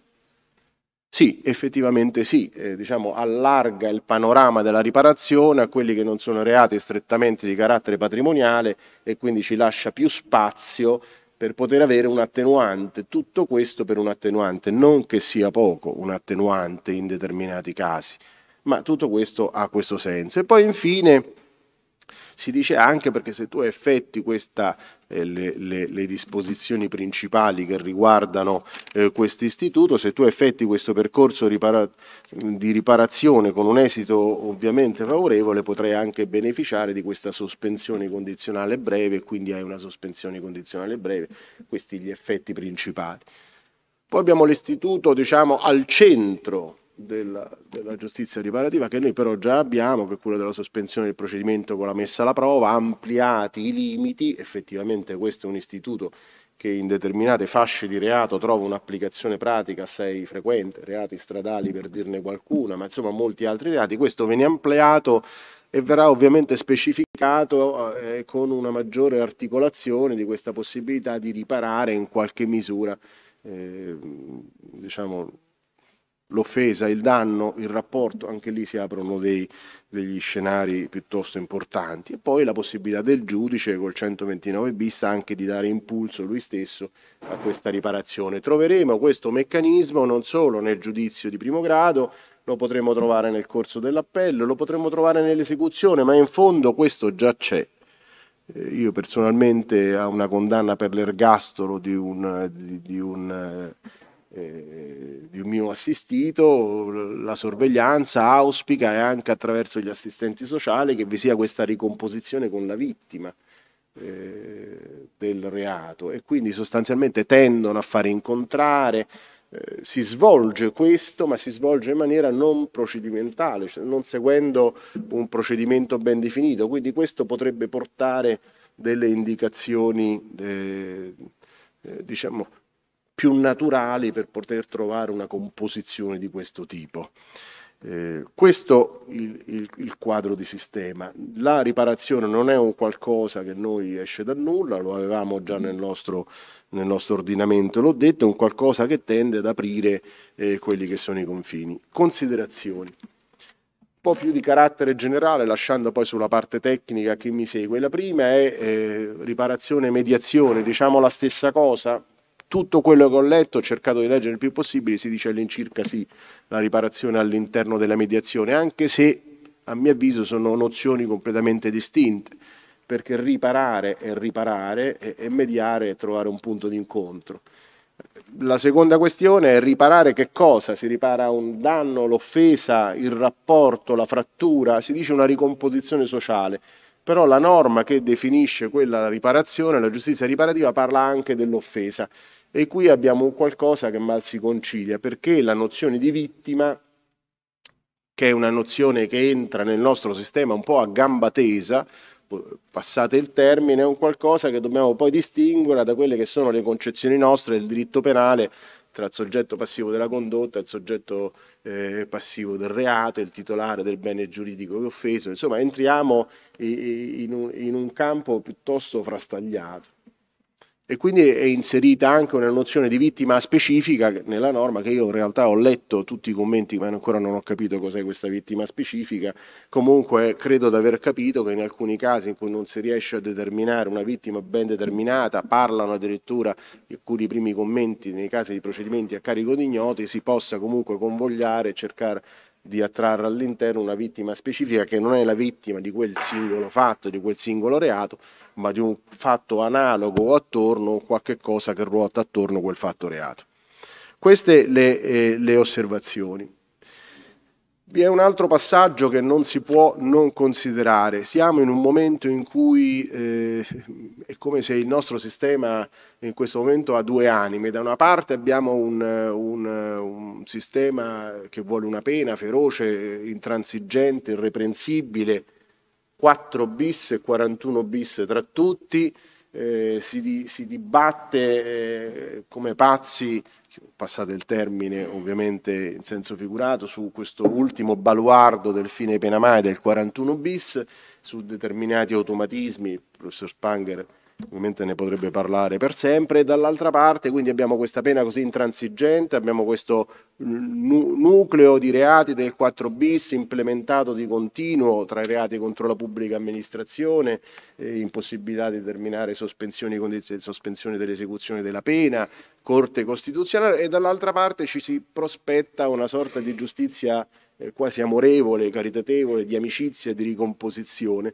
c'è un qualcosa che secondo me stride all'interno. Da una parte abbiamo talvolta questi approcci giustizialisti, viene detto alcune volte un populismo giustizialista o giustizionismo populista, insomma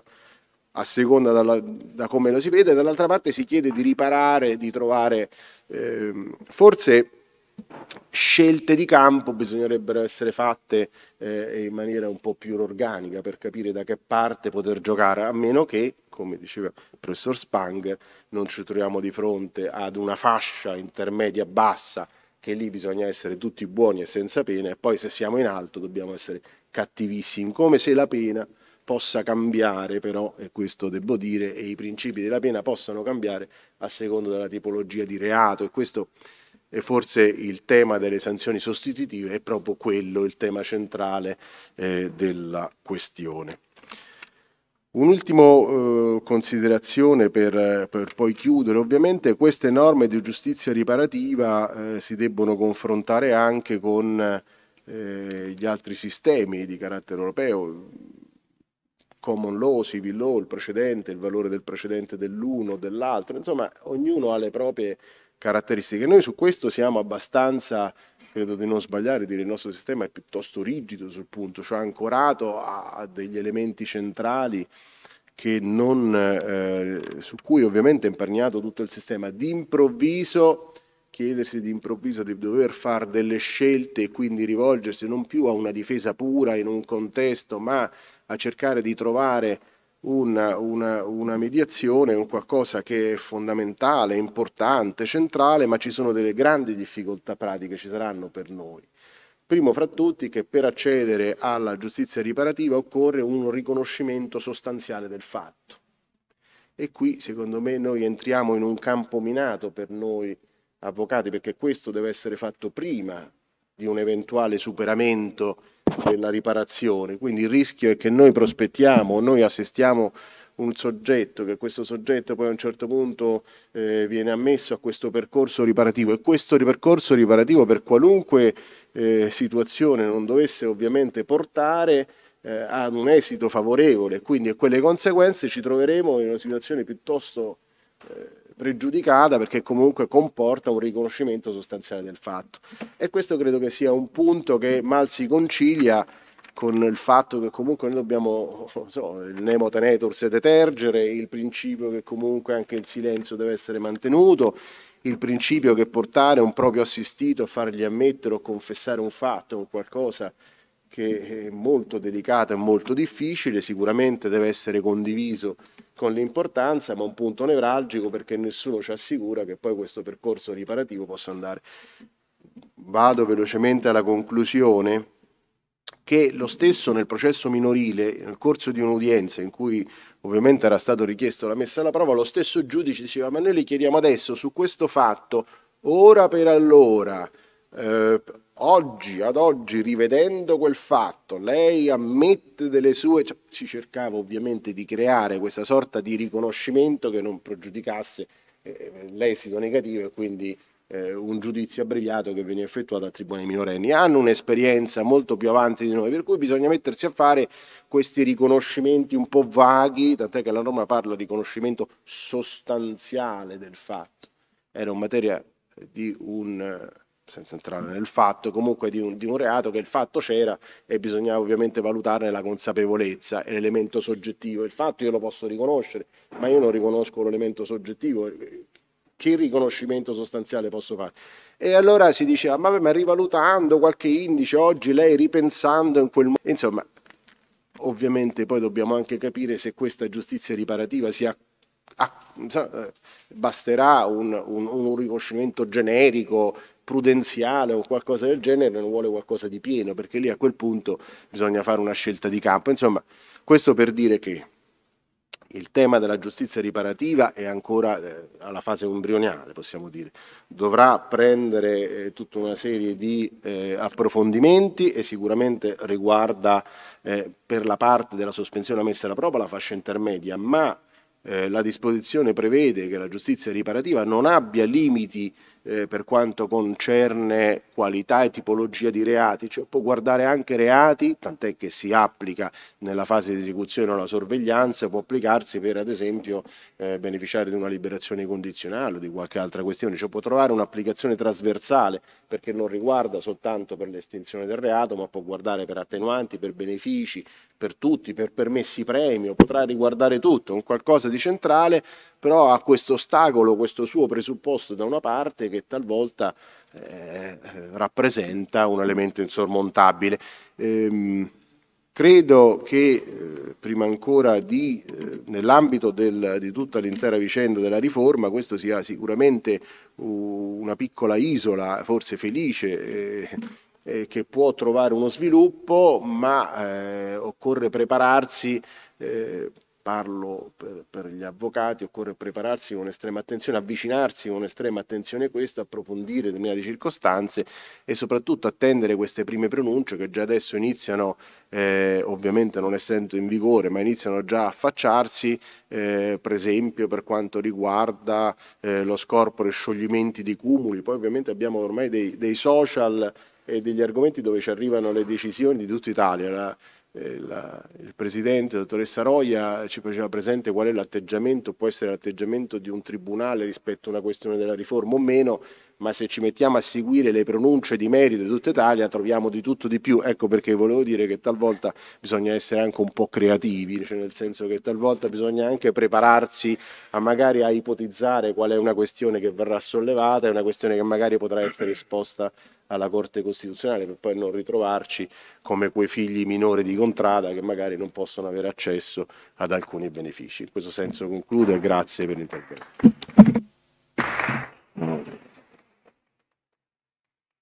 Sì, però io credo che la, le decisioni di merito vadano attentamente valutate perché ci permettono di cogliere il tipo di problemi che abbiamo. Per esempio, quando la dottoressa accennava al problema della responsabilità degli enti, Va ricordata la sentenza di Milano, la quale ha detto che il criterio di definizione del procedimento va tarato sulla,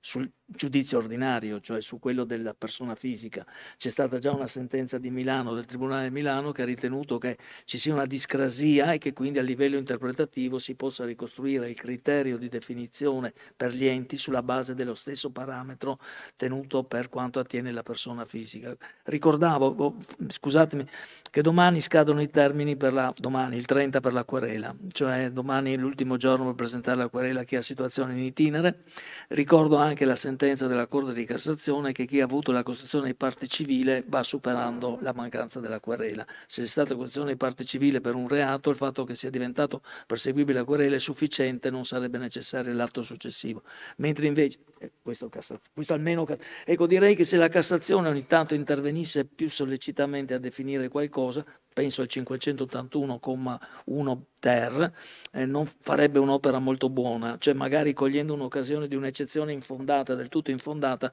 per metterci dentro un obiter dictum che risolverebbe i problemi. E l'altra cosa che volevo dire, stiamo aspettando, si sta aspettando, e, mi pare che sia già abbastanza tardiva, l'approvazione di quel disegno di legge d'urgenza che riguardava la possibilità dell'arresto in, flag, in flagranza e mancanza di querela. È, pass- è passata in un ramo del Parlamento, quella con le aggravanti anche, del, però a un certo punto Insomma, se i tempi della giustizia sulle questioni d'urgenza permettono di dire, aspettare due mesi, credo che anche per la giustizia riparativa a giugno non avremo assolutamente niente. Io ringrazio... No, no, professore,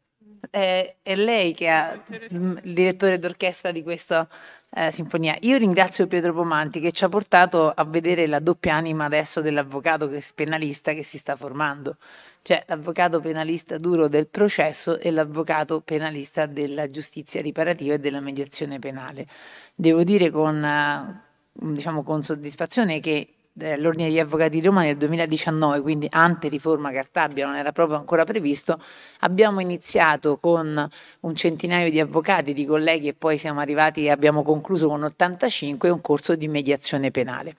corso, c'è qualche mediatrice che qua vedo in aula, corso di mediazione che sono stati coraggiosissimi perché siamo partiti senza nessuna previsione, ma immaginando che potesse essere uno strumento eh, per uno scopo deflattivo. Il 4 marzo 2020, quindi a distanza di quattro giorni dal lockdown, eravamo in procura per rifinire proprio una convenzione, cioè per una valutazione in qualche modo della mediazione penale, del contenuto della mediazione penale, perché è una giustizia altrimenti troppo conflittuale, rimangono in piedi conflitti, la eh, mediazione penale in altri stati ha portato già a una previsione di recidiva, cioè nel senso la mediazione ha ridotto la recidiva e quindi noi ci crediamo, ci abbiamo creduto, sono tutti strumenti che servono per amministrare una giustizia che forse è troppo penalistica, cioè nel senso è troppo penale e quindi troppo penale è, ormai la macchina è troppo ingombrante.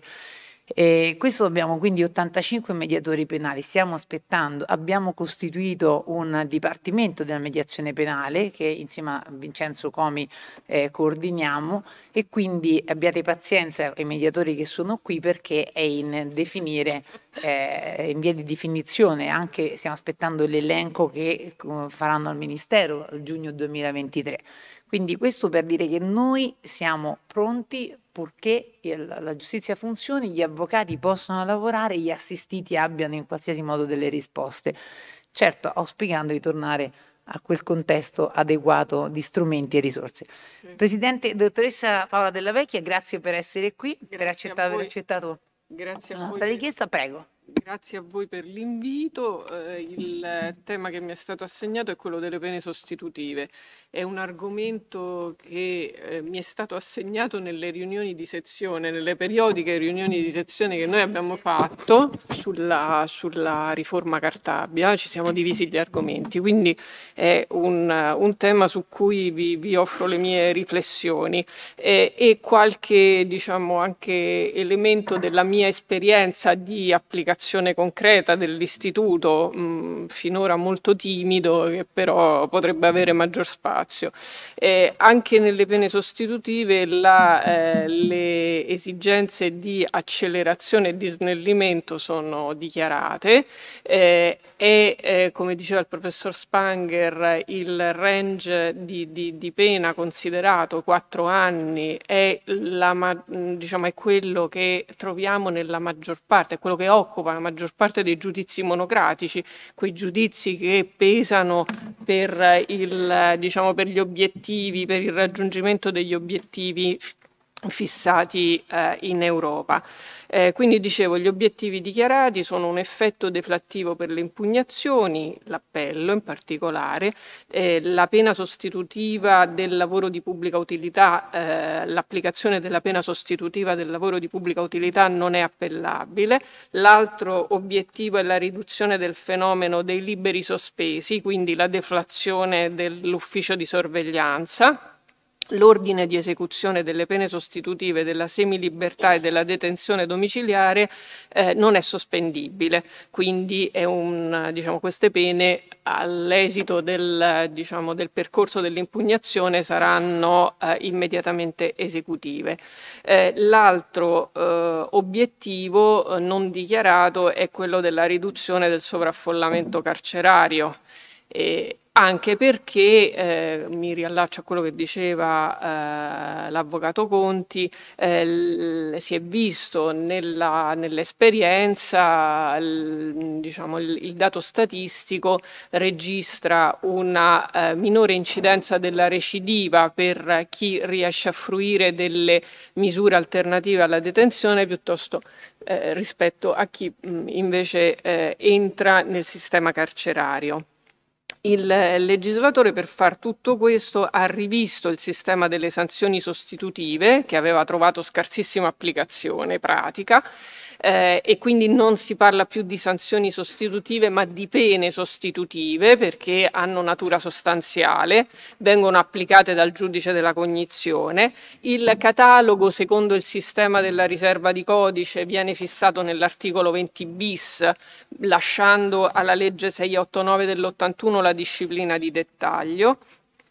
la, eh, lo scopo del, del, legislatore attraverso le pene sostitutive è di dare una risposta sanzionatoria più individualizzata, più rispondente alla finalità rieducativa della pena e nello stesso tempo almeno questo eh, lo scopo, eh, più efficace perché immediatamente esecutiva, quindi le esigenze di trattamento vengono anticipate alla fase di cognizione e non vengono rinviate così ad una fase esecutiva che può non essere eh, vicina.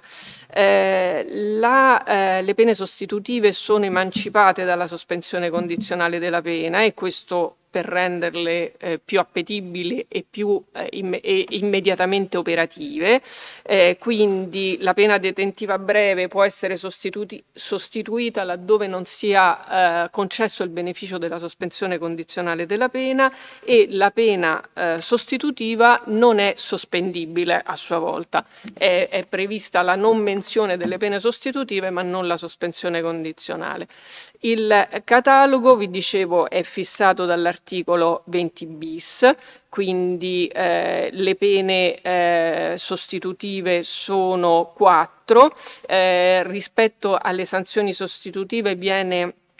eliminata la eh, semidetenzione eh, e la eh, libertà controllata, quindi il, eh, entro un anno è applicabile la pena pecuniaria sostitutiva per le pene detentive fino ad un anno, fino a tre anni il lavoro di pubblica utilità, fino a quattro anni la semilibertà sostitutiva e la detenzione domiciliare sostitutiva. È stato ampliato il parametro edittale rispetto alle sanzioni sostitutive in maniera da allineare le pene sostitutive all'affidamento in prova al servizio sociale.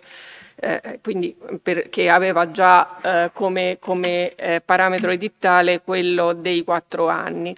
I criteri del, per l'applicazione delle pene sostitutive, criteri che poi rispondono ad un eh, obbligo motivazionale del giudice, sono quelli di, eh, del minor sacrificio della libertà personale, quindi c'è un, diciamo, secondo un criterio di graduazione del, e eh, il, i criteri di scelta devono rispondere alla, si deve cercare di, eh, nello scegliere la pena sostitutiva, quella più idonea alla rieducazione del condannato e che assicuri il reinserimento sociale. Questi sono i criteri fissati dall'articolo 58 della legge 689. Eh, questo ehm, diciamo, per assicurare una finalità di trattamento, riallacciandomi a quello che diceva l'avvocato Pomanti, eh, nelle scelte, eh, nelle, eh, nella, nel trattamento e nella finalità di assicurare il trattamento del condannato, ehm, il giudice può eh, imporre particolari eh, prescrizioni e quindi ad esempio potrebbe anche rientrare per questo, per questo canale, eh, per, mh, potrebbero rientrare i, canali, i programmi di giustizia giustizia riparativa. Mm, il, eh, le cause eh, oggettive di esclusione eh, sono fissate dall'articolo 59, quindi quei casi nei quali non è possibile accedere alle pene eh, sostitutive il fallimento di un percorso precedente di applicazione di una sanzione sostitutiva, l'applicazione di una misura di sicurezza personale, dice il legislatore, salvi i casi di incapacità parziale di intendere e di volere, ma poi lì mh, mm, si tratterà di vedere eh, in concreto, eh, sono esclusi eh, i reati previsti dall'articolo 4 bis dell'ordinamento penitenziario. Ehm, mm, visto che mi occupo dei reati di pubblica amministrazione, la riforma Cartabia ha, ha escluso, ha diciamo, eliminato eh, dal catalogo dei reati eh, ostativi i reati di pubblica amministrazione, che quindi possono beneficiare oggi dei, eh, dell'affidamento in prova al servizio sociale e degli altri benefici previsti dal, dal, dalla legge dell'ordinamento penitenziario. Nel caso delle pene sostitutive però è fissato un ulteriore eh, elemento di mh, diciamo, di sbarramento perché la pena sostitutiva per questi reati, laddove ovviamente rientrino nel, nel range edittale che abbiamo detto, quello dei quattro anni, richiede il riconoscimento della eh, circostanza attenuante della, eh, della collaborazione, quindi l'articolo 323 bis del codice penale. Eh, dicevo, eh, le pene sostitutive devono tenere conto delle, eh, della esigenza di rieducazione, dell'esigenza di trattamento, quindi questa finalità di trattamento e di individualizzazione viene considerata nella scelta della misura perché eh, va scelta la misura in ragione dell'età, della salute fisica o psichica del condannato, delle sue situazioni particolari eh, di, di, tipo familiare, le, ehm, diciamo, delle eh, eventuali dipendenze eh, quindi disturbi da eh, uso di sostanze stupefacenti, alcol, altre forme di dipendenza. E questo per evitare il più possibile, eh, almeno nella, nella, finalità, di ridurre una, eh, diciamo, eh, un pericolo di recidiva col, eh, con l'assicurare la, ehm, il temperamento, il recupero, il, mh, mm, diciamo, il trattamento di queste forme di dipendenza che possono rappresentare una spinta al, al delitto importante. Eh, dicevo, l'anticipazione è eh, quindi eh, delle pene eh, eh, sostitutive è alla fase di cognizione. Nella fase di cognizione si chiede al giudice una valutazione simile a quella del, eh, del magistrato di sorveglianza possono essere applicate in, con la sentenza di condanna, con la sentenza di giudizio abbreviato e qui c'è anche, eh, come diceva il professor Spanger, questa volontà di rendere appetibili i, i riti alternativi, la possibile riduzione di un sesto in caso di rinuncia all'impugnazione nel caso di giudizio abbreviato con il decreto penale eh, si può applicare non solo la pena pecuniaria sostitutiva ma anche il lavoro di pubblica utilità sostitutivo nel limite di un anno. Eh, ci, ehm, diciamo, ehm, ci si chiede un cambio di cultura sicuramente, di mentalità e di approccio da parte di tutti gli operatori di giustizia, soprattutto perché il legislatore ha previsto un sistema di applicazione eh, di tipo bifasico, eh, quindi la eh, pena sostitutiva opera alla lettura del dispositivo, perché con la lettura del dispositivo si eh, stabiliscono i parametri entro i quali le pene sostitutive possono essere scelte e possono, ess possono essere richieste e scelte dal giudice.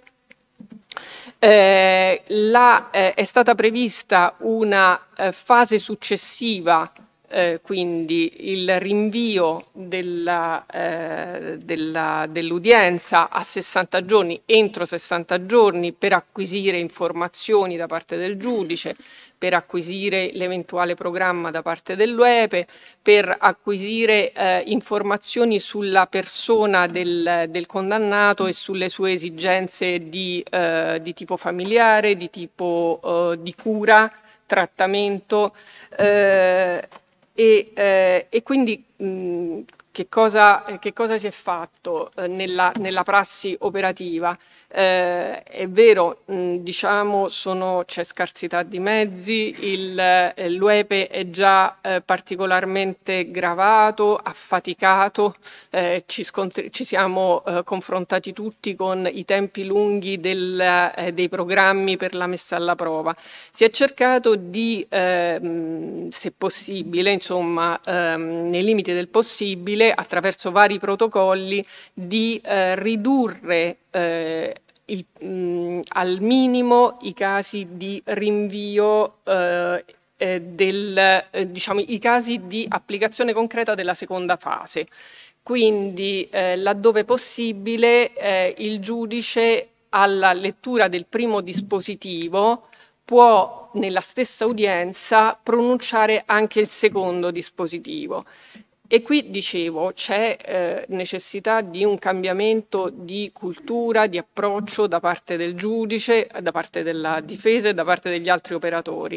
Ora, ehm, questa logica aziendalista, aziendalistica del fare numeri, del eh, cercare di essere veloci, eh, non può trasformare l'applicazione la, della pena sostitutiva in una specie di... Ehm, non so, di sconto, di, di, di saldo, di, di, fine stagione, eh, però nell'ambito di una pena eh, congrua, giusta e di un'esigenza di trattamento eh, che eviti una ricaduta nel reato eh, va, ehm, va affrontata, va applicata va gestita eh, e quindi eh, da parte e, e, e, richiede la necessaria collaborazione della difesa, perché questa è una riforma che ehm, eh, operativamente può, ehm, può, eh, aver, può dare numeri positivi soltanto con la collaborazione della difesa. Quindi da parte della difesa eh, in prima battuta la, eh, il rilascio di una procura che comprenda anche la procura alla, ehm, alla richiesta del consenso alla richiesta di pena sostitutiva, la eh, richiesta di pene sostitutive in sede di eh, formulazione delle conclusioni, anche in via subordinata. Eh,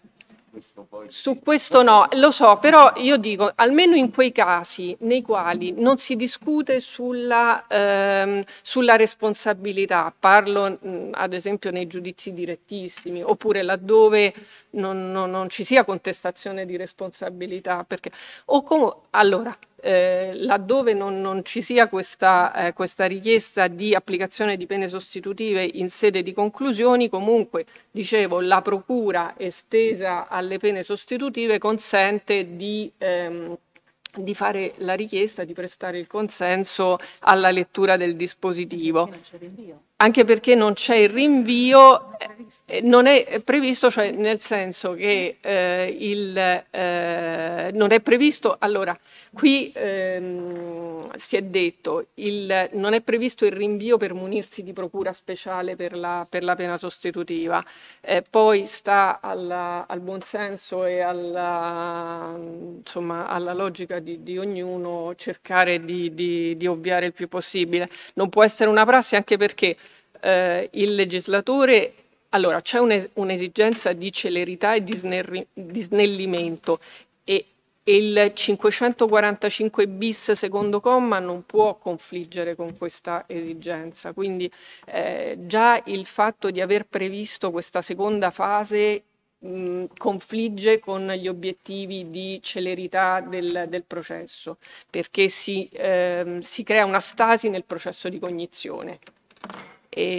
con, il, con, con, i problemi conseguenti di deposito della sentenza, sospensione dei termini,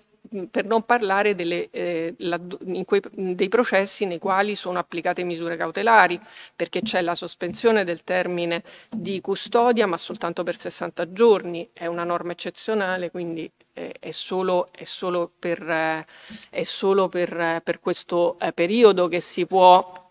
eh, diciamo che il legislatore ha previsto la sospensione. Eh, quindi dicevo, eh, la difesa si dovrà attivare laddove eh, abbia interesse a richiedere eh, una pena sostitutiva per fornire al giudice tutte le informazioni necessarie. Penso alle pene pecuniarie sostitutive, il, la, mm, che voglio dire forse è la cosa più facile, produrre eh, la documentazione ehm, volta a, ehm, ad attestare quale sia il reddito del, del, del condannato per stabilire il valore, eh, il valore giornaliero su cui eh, determinare, parametrare la pena, eh, la pena pecuniaria, ma anche nel caso del lavoro di pubblica utilità mh, sostitutivo sarà possibile per la difesa eh, indicare eh, l'ente prescelto, fornire una dichiarazione di disponibilità e un programma anche generico di lavoro. In questo caso si potrebbe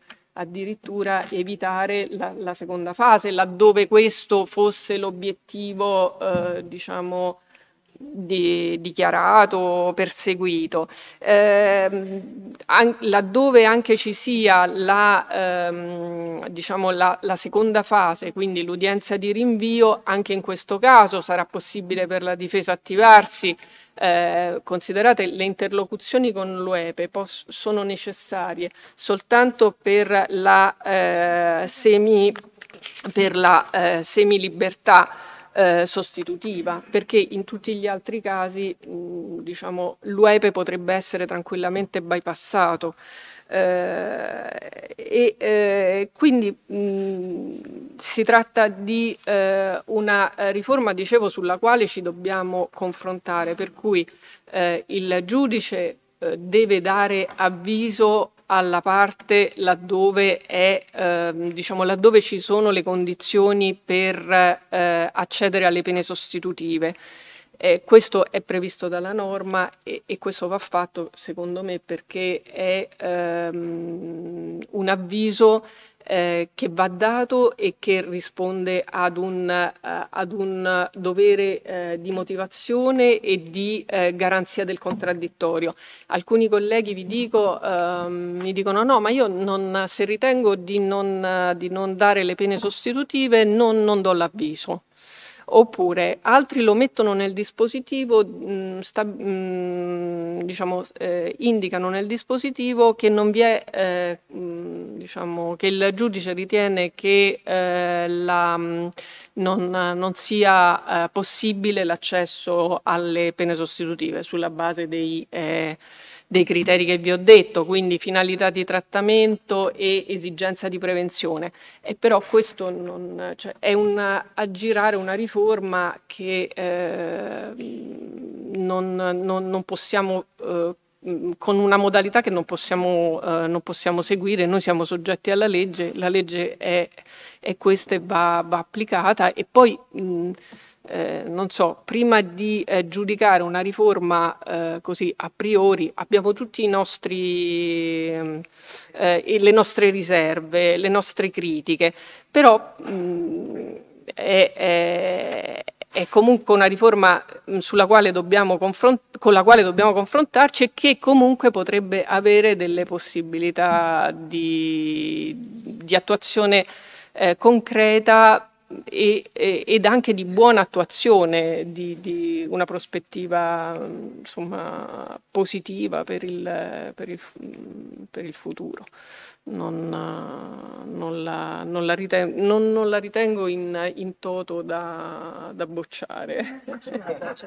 da bocciare in toto o da dire no, no, no, perché vi dico... Eh, le, le reazioni eh, dei colleghi sono state an- eh, molto, mh, mm, così, eh, molto ma vivaci, molto critiche. Eh, ah, ma no, ma com'è possibile? Ah, ma è vero, eh, diceva, credo, la, mh, mm, l'avvocato, il professor Scalise, eh, in un processo potremmo avere un imputato che accede alla pena sostitutiva, un altro che fa... Che, però, però si tratta eh, esatto, però eh, eh, sì, anche prima noi facevamo lo stralcio in tre, però sono esigenze con, pratiche, eh, non, no, con le, voglio dire, possono essere risolte. Eh, tre diversi giudici. Sì, sì, sì perché è pensato per, il, per il, eh, l'unico imputato, è, è, così, è pensato, ma, ma, tutto il processo penale è pensato per l'unico tutto imputato. Tutto il processo penale, un imputato, un reato. Un, un imputato, un reato. Non è così. E poi noi dobbiamo sfruttare, eh, soluz- dobbiamo trovare soluzioni creative, così. No, il problema la ringrazio molto. Eh, innanzitutto aggiungerei che anche col patteggiamento si può determinare. La... Sì, eh, sì, allora, sì, no, no, no, no, no. È, è, ma questo è importantissimo perché per esempio delle, un altro del, degli istituti di grande così, appeal per la difesa è questa possibilità nel patteggiamento di concordare con il pubblico ministero il tipo la, la, la, la durata della, della, pena sostitutiva, pene accessorie e loro durata e la confisca. Sì, esatto, facoltativa. Facoltativa. Sì, ma gli effetti negativi, e gli effetti indi- vengono eliminati gli effetti indiretti sul piano disciplinare, contabile e amministrativo, eh, tra parentesi il patteggiamento, Molto perché ci sono anche certo. benefici aggiuntivi. No, io ripeto, vorrei dire una cosa, io non sono qui il piazzista della riforma, perché a me non mi interessa assolutamente nulla cerco semplicemente di spiegare ciò che è. Fra le cose che cerco di spiegare che sono, quella che viene definita da alcuni milanesi che sono molto più avanti, secondo me, la cosiddetta pena progetto, cioè in realtà noi le chiamiamo sanzioni sostitutive, ma loro le chiamano già pena progetto, cioè perché viene, come ha detto giustamente lei, viene collegata anche a effetti Ma vorrei dire una cosa, io presumo che voi avvocati lo sappiate, ma voi sapete che due giorni di lavoro sostitutivo è un giorno di carcere? Due giorni di lavoro sostitutivo. Ora, bisogna spiegare ad una persona che con due ore di lavoro di, di pubblica utilità, sostitutivo, chiamatelo come volete voi, si, si, sconta un giorno di carcere e che naturalmente ti permette di continuare a svolgere tutte le attività che potevi continuare, continuare a fare. Ma voi sapete che per quella prima, quella famosa fino ai quattro anni, uno va a finire sì in carcere, anche se non ha la casa, otto ore, trova la, la soluzione per avere, cioè sono benefici piacciono o non piacciono. Certo che è un giustizia, cioè, io non sono né uno né l'altro. Cioè, voglio dire, questo è il, è il panorama dell'offerta, questo è il punto. Attenzione, problemi. Naturalmente, lei ha visto giustamente primo grado, però se io in appello riesco a ottenere lo sconto di pene da 5 vado a 4 posso ottenere in appello. Non l'ho certo. chiesto in primo grado perché il certo. collega non gliel'ha voluta dare, io appello e esatto, ottenere la sanzione esatto. sostitutiva. Un problema si pone quando c'è l'udienza camerale perché con l'udienza camerale dell'abbreviato, dal quale posso ottenere lo, la sanzione sostitutiva, e lì l'udienza non c'è perché è finita, allora bisogna finire una seconda udienza. Lì bisognerebbe trovare un meccanismo, ma anche in appello ci sono udienze sì, camerali sì, non partecipate. Sì. E allora non si capisce, cioè non si capisce, bisogna trovare i meccanismi sui quali applicare le sanzioni sostitutive. Esatto. Ho la sensazione che noi viviamo una parte lo stesso clima, lo dicevo prima a Comi, che abbiamo visto quando è entrato il codice dell'88, no? Questo, eh, poi bisogna vedere come questi istituti si plasmano e come sostanzialmente si trovano anche tipo di risposte. Eh, ci, ci, vuole giustamente, come ha detto lei, una fase anche di, di sperimentazione. Utilissimi, firma, i protocolli. Sì. Eccolo. Sì, cioè lo strumento sì, del protocollo fra Camera penale. Cioè, questa riforma, no, attenzione, no, no, questa riforma, credete, insomma, ripeto, non me ne frega niente lo dico con crudezza, perché non sono qui venuto a fare il piazzista di una riforma che ho anche criticato, come si può sapere, però c'è... Eravamo anche molto distanti io e lei all'inizio. Chi? Io e lei all'inizio. Sì, ma non, non, cioè uno capi- incomincia a studiarla, incomincia a capirla e cerca di spiegare che cosa c'è. Cioè, prima c'è un'azione culturale di rigetto, perché c'è il profilo cognitivo, il processo ha funzione cognitiva, non ha funzione cognitiva, questi strumenti sono cognitivi, non sono cognitivi, si può discutere anche se il 129 si applica sempre, tutti i riti hanno sempre l'applicazione del 120, è cognizione piena, non è cognizione piena, la funzione del processo è questa, cioè abbiamo problemi teorici e dogmatici, però abbiamo una legge e a un certo punto dobbiamo anche applicarla, o la sabotiamo o la applichiamo. Ora ci sono tanti strumenti che consentono, perché questo è il discorso, a voi io spero di non essere imputato, onestamente, ma siccome voi li gestite e li... Eh, a un certo punto siete voi che dovete, come dire, avete questi strumenti. Me, quello che a me interessa è che voi siate a conoscenza degli strumenti. Poi li volete applicare, li applicate. Non li volete applicare, non li applicate. Però il primo dato è la conoscenza. Allora dire che due ore di lavoro di pubblica utilità, un giorno di carcere, che uno a un certo punto un anno di galera lo può scontare con una pena pecuniaria come quello di, di, di Nocera Inferiore, che era un pusher che aveva otto mesi, che ha fatto mille euro, Cisterna diceva questo è, un questo è un incentivo alla recidiva, dare mille euro a uno che ha... Può essere giusto, può essere giusto, non lo so, però bisogna almeno conoscere. Soprattutto che uno... perché Vorrei sapere il pusher come li trova i soldi per... No, ma gli, hanno segu... no, ma gli avevano sequestrato 500 a casa. quello, non lo so. Quello, vabbè, però... È un giudice che l'ha... Magari un pusher eh, normo inserito, no? come si dice. Allora, eh. scusatemi, però da... è vero che chi è ricco paga due... un milione e sconta un anno, sì, però a un certo punto si parte da 5 cioè 5 euro fino a 2500, sì, quindi sì. voglio dire ci sono dei margini per discutere. I protocolli sono utili, i protocolli che permettono di realizzare, questo è il problema, perché se la riforma anche, l'ha detto giustamente lei, se ha un, un senso è anche nell'avvicinare le parti al processo. In questo senso avvocato e imputato sono una parte ormai che devono lavorare in sinergia perché secondo me ci sono molti atti nei quali l'imputato decide personalmente oppure da una procura speciale, non può più l'avvocato fare semplicemente tutto quello che vuole. Questo è un altro passaggio secondo me importante che responsabilizza anche voi e che vi aiuta nel, nel, nelle scelte processuali. Se poi lo si riesce a fare anche con la magistratura, ripeto, io non amo i magistrati, credo che si sappia, per cui non... non mi sono particolarmente simpatici. Ma, ma ha, ragio- ha ragione, ha ragione. Più lontano ci sto meglio vivo, anche se poi molti... Però devo dire, de- dobbiamo spiegare il senso di una riforma. Lo sai? Do- Lasciami anche a piedi, tanto non vado più in aereo. Arrivo col treno. No, non arrivi, no, non passavano i treni. Niente. Due frignani, L'ho pure portato a casa e mi tratta così. Come diceva il professor Tranchina, ricordatevelo anche voi, la gratitudine è il sentimento del giorno prima.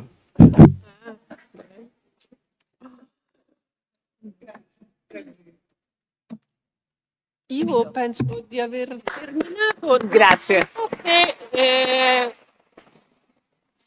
se c'è altro... Non... No, no. Oltre a, diciamo, al dotto intervento, è anche un intervento che ci porta anche qui a riflettere, no? Questo mutamento, questo ampliamento. Noi oggi non veniamo dal migliore dei mondi se aspettiamo tre o quattro anni per un affidamento in prova al servizio sociale.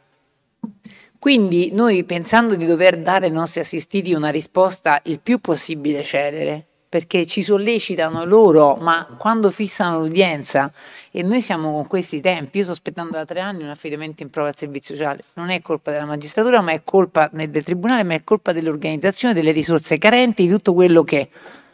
E quindi questo dobbiamo risolverlo. Il, la Presidente Palmisano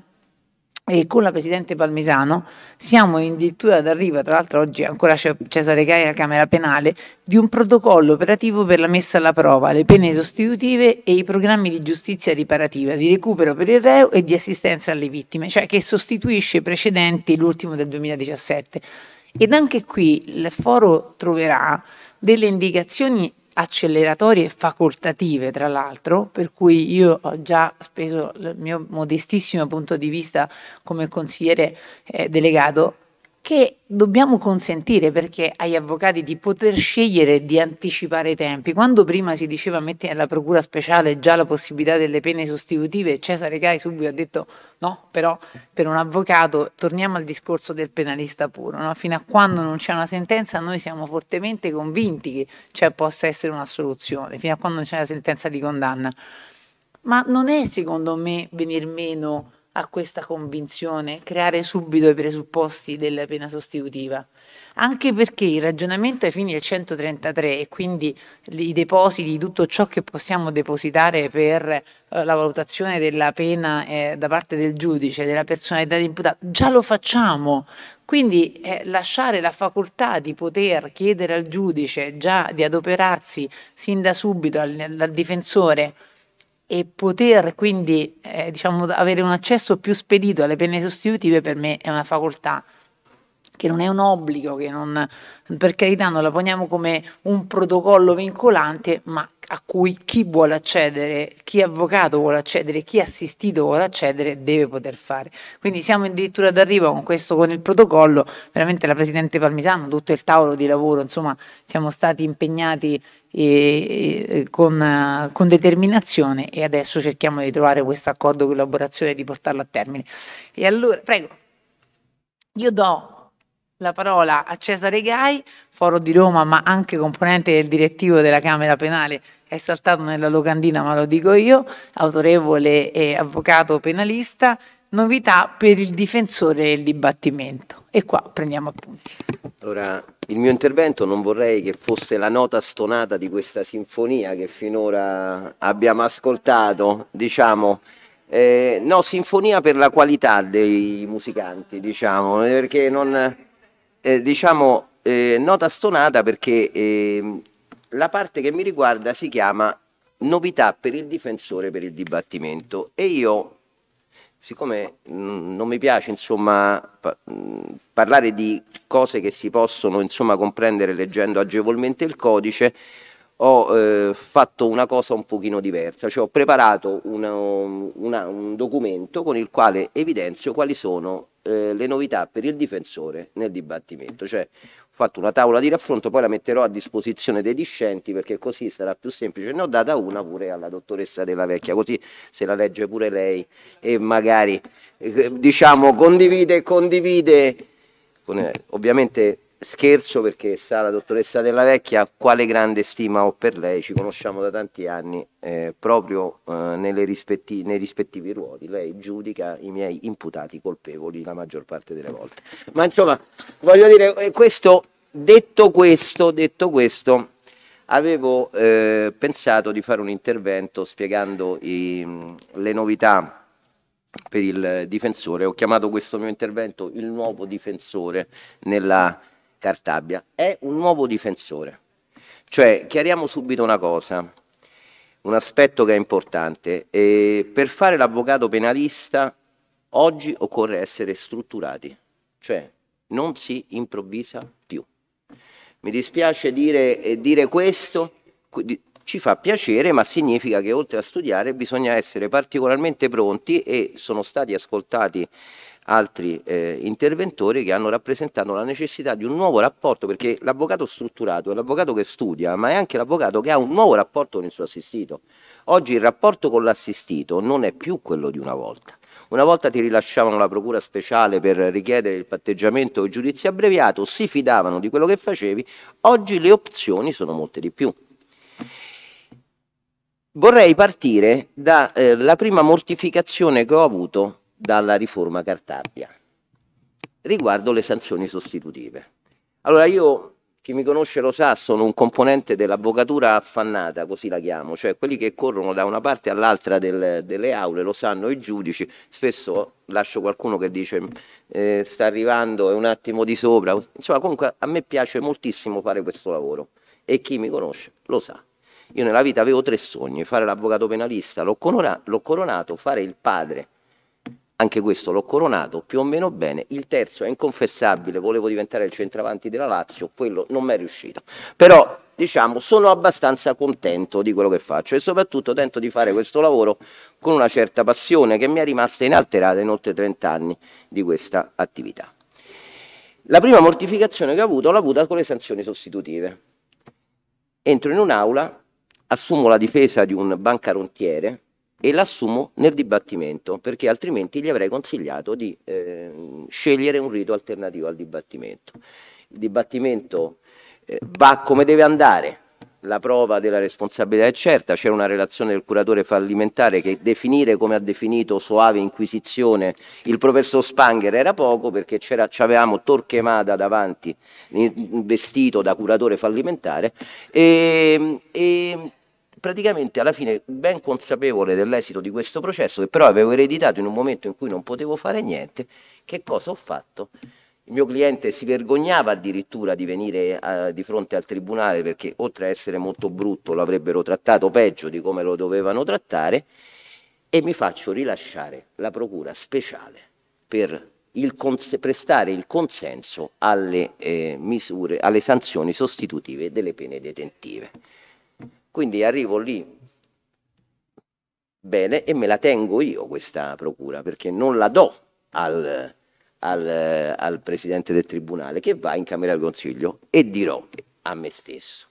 appena escono che mi danno quattro anni, però mi danno le generiche, mi daranno tre anni e nove mesi, io gli butto lì la, la, la, procura speciale e do il consenso alla detenzione domiciliare o alla semilibertà. Mi hanno dato quattro anni e un mese. Quindi voglio dire, mi davano quattro anni e sei mesi, è, e quindi voglio dire, questo è un aspetto, vorrei eh, rappresentarlo perché con la Camera Penale di, di, Roma, della quale mi onoro essere il segretario l'ennesima volta, anche lì i totem diciamo non cambiano mai,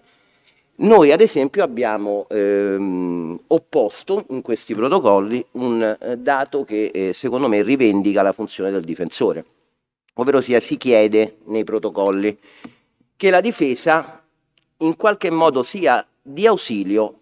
eh, all'applicazione delle sanzioni sostitutive, il che è bellissimo sotto un certo profilo, perché eh, le sanzioni sostitutive che io non critico a prescindere, lo chiarisco subito in questo mio intervento confuso, però vi dico quello che vi devo dire avevo scritto, quindi però mi piace parlare di tante cose di cui si sono dette oggi che poi vogliono essere l'aspetto pratico di questa professione. Noi dobbiamo essere di ausilio, ma vi chiedo, perché questo ci chiediamo quando cerchiamo di improntare questi protocolli, ma io devo discutere il processo e prima ancora di discutere il processo, perché questo veniva chiesto con i protocolli per agevolare questo tipo di decisioni, voi sapete che la decisione che applica una sanzione sostitutiva è una decisione che ha una motivazione semplificata rispetto a quella che dovrebbe altrimenti essere redatta. Voi sapete che nell'ipotesi in cui la sanzione sostitutiva, lo ha detto prima la dottoressa Della Vecchia, può essere immediatamente applicata se ci sono i presupposti. Faccio l'esempio più banale, la detenzione domiciliare o un domicilio può essere, può essere, valutato positivamente un, eh, la sanzione sostitutiva in luogo della pena detentiva. Sempre se non viene concessa la, la, la pena sospesa, ricordatevelo perché questo è fondamentale, ma se io do al giudice prima che si ritiri in Camera di Consiglio la mia disponibilità ad una sanzione sostitutiva, secondo voi faccio un favore all'imputato? Perché io mi pongo questo problema, che è un problema serio rispetto a quella che è la funzione difensiva, perché nel momento in cui sono arrivato a discutere un processo, e questo evidentemente non è il caso di colui che ha reso una confessione nel corso di un'udienza di convalida, perché lì lo sapete che lo condannano, allora lì ci sono altri strumenti forse nel, per poter arrivare a delle soluzioni migliori per il vostro imputato. Ci sta il risarcimento del danno, non se ne è parlato, ma determina lo sconto, la diminuzione della pena per effetto di un'attenuante che è codificata dal lontano 1927. Ora, questa riforma Cartabia ha delle cose buone, ma ha molte cose che sono particolarmente inattuabili e distoniche rispetto a quello che è la realtà. E noi siamo abituati a confrontarci con la realtà. Allora, primo problema che mi sono posto. Abbiamo parlato lungamente dell'udienza predibattimentale, che il validissimo presidente dottoressa Roia ha criticato, perché obiettivamente è qualcosa che è di difficile comprensione, ma è di difficile comprensione anche per la difesa. Allo stesso tempo l'udienza predibattimentale può rappresentare uno strumento per la difesa per portare all'attenzione del giudice che deve decidere se questo processo si farà o meno degli elementi che magari sono stati poco valorizzati nella fase investigativa. E allora come si riflette questo nei confronti del difensore? Perché noi di questo ci dobbiamo occupare. Il nuovo difensore nella riforma Cartabia. Il nuovo difensore nella riforma Cartabia deve stare inerte rispetto a un 415 bis. Io continuo a pensare che non sia così, perché oggi il giudice del predibattimento, a me piace chiamarlo così, nel momento in cui dovrà valutare se questo processo merita di essere celebrato, avrà a disposizione il fascicolo del pubblico ministero, cosa che non ha nel momento in cui viene investito di un decreto di citazione diretta a giudizio. Perché di questo stiamo parlando, non dell'udienza preliminare, dove il giudice dell'udienza preliminare ha a disposizione tutto il patrimonio investigativo che il pubblico ministero gli pone a disposizione con le eventuali integrazioni che sono possibili ex articolo 419 del codice di procedura penale con attività svolte dal difensore e con eh, eventuali eh, arricchimenti del patrimonio processuale che possono avvenire anche in sede di udienza preliminare, cioè il giudice predibattimentale ha il fascicolo del pubblico ministero. Nel fascicolo del pubblico ministero ci sta quello che ha fatto la polizia giudiziaria e poi ci possono essere anche le memorie, l'interrogatorio, le indagini difensive che consentono al giudice del predibattimento di avere una visione un pochino prospettica, futuribile, di quello che sarà il dibattimento che va a celebrare. Questo sicuramente è un'innovazione buona. Il problema che mi pongo io è questo, ma adesso me la devo studiare perché in qualche modo devo mettere un, uh, un ostacolo a questa udienza predibattimentale, ad esempio che non si sia previsto che tra in tribunali di una certa caratura e di una certa portata come numero di persone che ci lavorano, questo non è stato previsto, il giudice del predibattimento appartenga a sezione diversa rispetto al giudice del dibattimento. Sembra una banalità. Io sono certo della, ehm, diciamo della bontà della valutazione di quello che fa la dottoressa Della Vecchia, che siede nel collegio con la dottoressa Roia, e quando fa il monocratico fa il giudice del predibattimento rispetto a un procedimento che, eh, che poi apporoda alla dottoressa Roia. Ma sono persone che si stimano, si apprezzano, o magari non si stimano e non si apprezzano e siedono stesso, nello stesso collegio, perché può capitare anche questo. È una sventura per chi lavora in un collegio con una persona che non apprezza, però può capitare. Ma, chi, ma, se io mi trovo un fascicolo della dottoressa Della Vecchia, che stimo tantissimo, come giudice del dibattimento perché ha valutato che quel dibattimento deve essere celebrato, non parto con un preconcetto che questo è quasi colpevole. Lo dice lei. Allora già se lo mandiamo in un, in un altro... Ma questo perché? Ma questo perché lei onestamente fa questa valutazione o semplicemente la circostanza che sedendo, perché purtroppo non è che ve ne danno tante distanze, nel senso sedendo nella stessa stanza lei tocca, perché per me basta questo per essere incompatibile rispetto a, ad un giudizio dibattimentale, alla prova piena che viene assunto al dibattimento, il fascicolo del pubblico ministero. Quello il giudice del dibattimento non lo deve toccare, il giudice che celebra il dibattimento non deve avere nessun tipo di preconcetto e secondo me questa udienza predibattimentale qualche preconcetto lo determinerà. Altra situazione molto particolare, mi sono fatto delle domande no, mentre leggevo questa riforma Cartabia, è quella relativa alla prospettazione che si può avere, eh, si può dare al giudice, la prospettiva che si può dare al giudice del predibattimento rispetto a quelle che sono le tesi difensive. Allora, qua c'è un'altra distonia nella norma, la lista testimoniale, di cui parleremo un attimo anche sul, sulla portata della lista testimoniale, perché adesso che mi, ver, non mi possono più venire a dire che quelle liste del pubblico ministero che dicono riferiranno in ordine alla dinamica, alla, alle indagini di polizia giudiziaria svolte sono sufficienti a rendere ammissibile una lista testimoniale dove è previsto che un giudice del predibattimento e un giudice del dibattimento, o meglio, soprattutto il giudice del dibattimento, valuti l'ammissibilità di una testimonianza perché oggi al difensore strutturato, come dicevo prima, è imposto di articolare, non dico i mezzi di prova come fanno i civilisti, vero che, perché a questo non ci arriviamo, e non, e no, non mi ci fate arrivare perché mi piglia l'infarto, prima che, che, ne faccio una così di lista testi, oppure tagliatemi le mani eppure la capoccia, ma in ogni caso arriviamo al punto che dobbiamo porre il giudice del predibattimento, perché secondo me la lista testi va depositata per quell'udienza, anche perché mh, faccio una, un minimo inciso, oggi ho, avuto, ho provato il primo brivido in cui mi è arrivato un decreto di citazione diretta a giudizio che reca la data di ieri e quindi già mi ero tutto ringalluzzito perché ho detto, dico, ma guarda questi non ci hanno scritto che era l'udienza predibattimentale, adesso gli faccio una bella questione, c'era allegato poi un altro foglio ovviamente dove si specificava che quella era l'udienza predibattimentale che si terrà quel giorno dove verranno valutati, dove ci sono tutti gli avvisi di rito, quindi la possibilità di accedere alle sanzioni sostitutive, di richiedere il giudizio abbreviato perché poi al dibattimento, contrariamente a prima, non lo puoi più fare con il decreto di citazione diretta a giudizio patteggiamento e quant'altro, che implica in qualche modo la necessità di avere un'interlocuzione anteriore al dibattimento con il assistito per decidere quello che bisogna fare,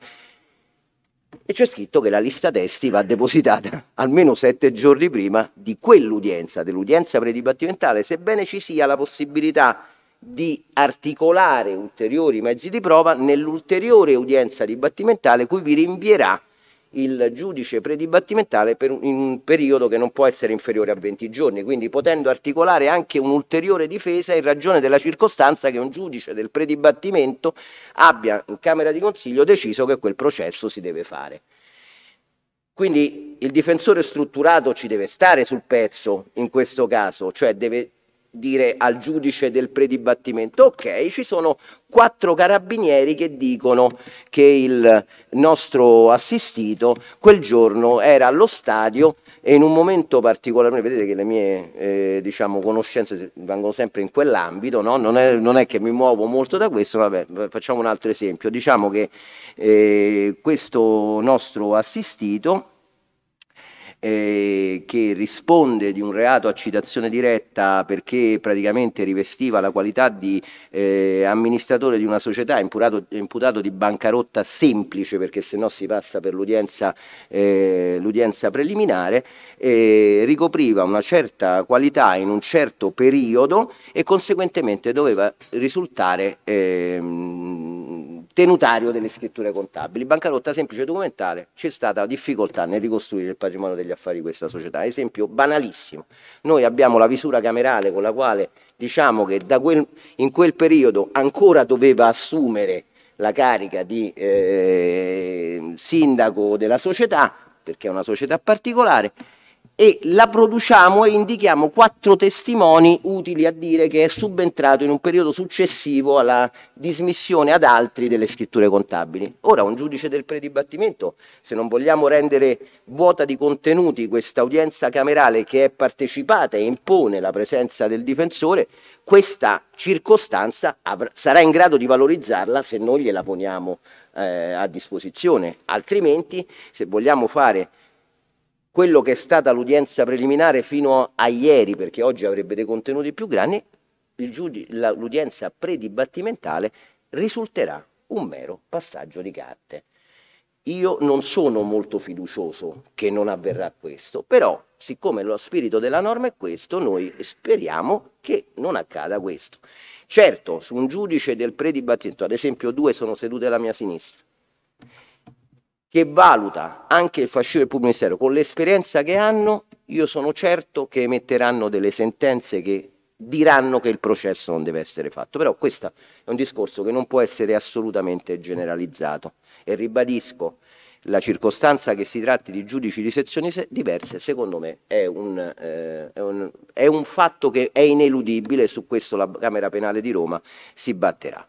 E devo essere rapido per forza, anche se parlerei ore di questa riforma Cartabia, ma dico, ci sono altre due persone che devono intervenire entro le 5. Un dato, un dato, un dato molto importante è quello relativo alla eh, rinnovazione dell'istruzione dibattimentale. Allora io mh, sono uno di quelli che, eh, ma poi ve le leggete le considerazioni che ho fatto in questo scritto, che quando... Sì, sì, no, tieni, te la do già poi... Comunque la...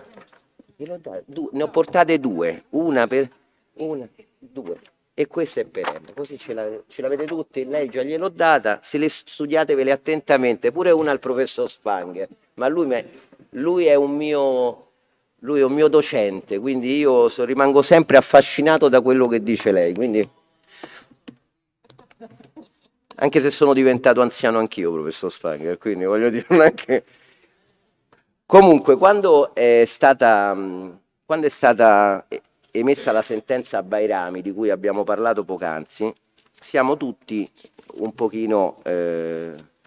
diciamo balzati sulla sedia perché eh, lo, dicevo, lo dico con grande serenità. Mutava il collegio, eravamo tutti contenti e poi su, succedeva quello che non deve succedere perché eh, per dare una effettiva dignità alla funzione difensiva non si può pretendere che venga il testimone a dire conferma, conferma. Cioè quantomeno una chiesto l'esame e in particolare se sei subentrato alla difesa, perché magari qualche idea di, di più o di meno di chi ti ha preceduto ce l'hai. Quindi rendere dignitosa quella norma come era strutturata l'articolo 525. La Presidente dice è un problema di memoria così non ci sentono dare modo ideologia, però anche qui a distanza di sei anni... No? Certo, per, per però, capire la Bairami, se però, non si conosce la psicologia della testimonianza. Certo, però insomma diciamo che in, in, in generale la Bairami dava, eh, prima della Bairami si è abusato di quella norma eh, in qualche occasione. Oggi avete tante possibilità, c'erano anche prima della, della riforma Cartabia, no? Noi potevamo indicare nuovi temi di prova, noi potevamo rappresentare al Tribunale, in questo devo dire che c'è stata una disponibilità del giudice diverso a risentire un, un, un, testimone che era stato ascoltato. Certo, se noi andiamo in aula e diciamo semplicemente voglio risentire Cesare Gai perché ritengo che questo testimone, ma non motiviamo adeguatamente la necessità di riascoltarlo, magari su un tema di prova diverso che non è stato adeguatamente coltivato nella precedente testimonianza, allora diciamo, essendovi la disponibilità di ascoltare i testimoni, dico, si poteva anche strutturare meglio quella norma. Oggi addirittura, voi sapete che però questo sarà possibile solamente dal giugno del 2023, c'è la possibilità di eh, chiedere la videoregistrazione delle, delle testimonianze. L'altro giorno un processo è stato rinviato con un collegio precario perché io dovevo sentire sette testimoni del pubblico ministero per un, per un processo di violenza sessuale e mi sono fermamente opposto al, a che venisse celebrata quel giorno quell'udienza con un collegio precario. Ho detto altrimenti voi attivate ed eravamo in un'aula che poteva eh, essere fruita per questo, attuate la videoregistrazione perché chi vi seguirà almeno avrà la possibilità di vedere la testimonianza, la mimica facciale, c'era anche la persona offesa, le eventuali contraddizioni che non possono emergere da un verbale fonotrascritto, nemmeno da un verbale che in qualche modo viene anche eh, registrato su cassetta, quindi si possono sentire. E devo dire che il Tribunale questa disponibilità l'ha avuta immediatamente, certamente si trattava di un procedimento con una persona a piede libero, altrimenti non l'avrebbero avuta, ma in qualche modo ha dimostrato di essere sensibile a, a, alle esigenze difensive e sono particolarmente sensibili alle esigenze difensive se in modo adeguato queste esigenze difensive vengono motivate. Questo voglio dire al difensore strutturato. Un altro aspetto che mi preme sottolineare è che finora non si è detto è che le sanzioni sostitutive, tanto neglette e tanto in realtà rappresentano un'opzione anche per altri aspetti. Perché non dobbiamo mai dimenticare, e questo il difensore del dibattimento non se lo deve dimenticare, che il processo penale si affronta con un minimo di lealtà personale e nei confronti di chi ci affida la sua vita su quello che può essere l'effetto prognostico del dibattimento, cioè che cosa accade alla fine. Cioè a cosa andiamo incontro e su questo dobbiamo essere in grado di rappresentarlo. Poi non è detto che siamo infallibili, possiamo pensare che una persona venga assolta e non lo sarà, però in generale ci possono capitare queste cose. Le sanzioni sostitutive, ad esempio, non sono incompatibili con le disposizioni di cui all'articolo 656 del Codice di procedura penale perché non sono state inserite tra i delitti per i quali, mi corregga professor Spanger se sbaglio, ma sono incompatibili con il 4 bis, ma ci sono una sequela di delitti che sono compresi nel comma 9, se non sbaglio, dell'articolo 656, per il quale una volta divenuta definitiva la sentenza non sarebbe possibile sospendere l'esecuzione, ove ovviamente non sia concessa la sospensione condizionale della pena. La sanzione sostitutiva in qualche modo eh, elimina questo problema e faccio l'esempio dell'incendio boschivo che un'estate, siccome è andata un pochino a fuoco la Sardegna hanno deciso che era un reato ostativo alla sospensione dell'esecuzione o il furto in abitazione, altra ipotesi di reato prevista nell'articolo 656 particolarmente ricorrente e che consente invece di applicare le sanzioni sostitutive uno, dove uno patteggi o arrivi ad una pena con il rito abbreviato che consenta la, la conversione, definiamola così, perché non ci dimentichiamo che le sanzioni sostitutive previste oggi dalla riforma Cartabia risalgono, anche se in diversa declinazione, addirittura ad una legge che è la 689 dell'81, 1981, prima addirittura della riforma del codice di procedura penale, dove erano previste la semidetenzione, perché così si chiamava, la libertà controllata in luogo delle pene che se non sbaglio arrivavano fino a un anno o fino a sei mesi e la, la pena pecuniaria in sostituzione della, della, due anni, un anno e sei mesi la pena pecuniaria in sostituzione della pena detentiva. Quindi il nostro legislatore era sensibile a questa possibilità che oggi ha incentivato, cioè sono tutte riflessioni che il, il um, il valido difensore deve fare e questo implica la necessità di avere eh, un contatto pulito e, e costante con il proprio difensore. Io mi permetto di sottolineare questo, la riforma Cartabia è una riforma per ricchi, cioè per un processo penale continua ad essere un processo per ricchi. E questo purtroppo è una sconfitta del processo penale perché a essere eh, particolarmente mortificati nelle loro aspettative da queste riforme saranno gli ultimi, cioè quelli che non potranno avere i contatti con il loro difensore per poter rilasciare la procura speciale, quelli che non avranno la possibilità di partecipare al processo e saranno dichiarati assenti, quelli che non hanno la possibilità di, di, di fornire un, delle disponibilità per l'applicazione delle sanzioni sostitutive e in questo siamo perdenti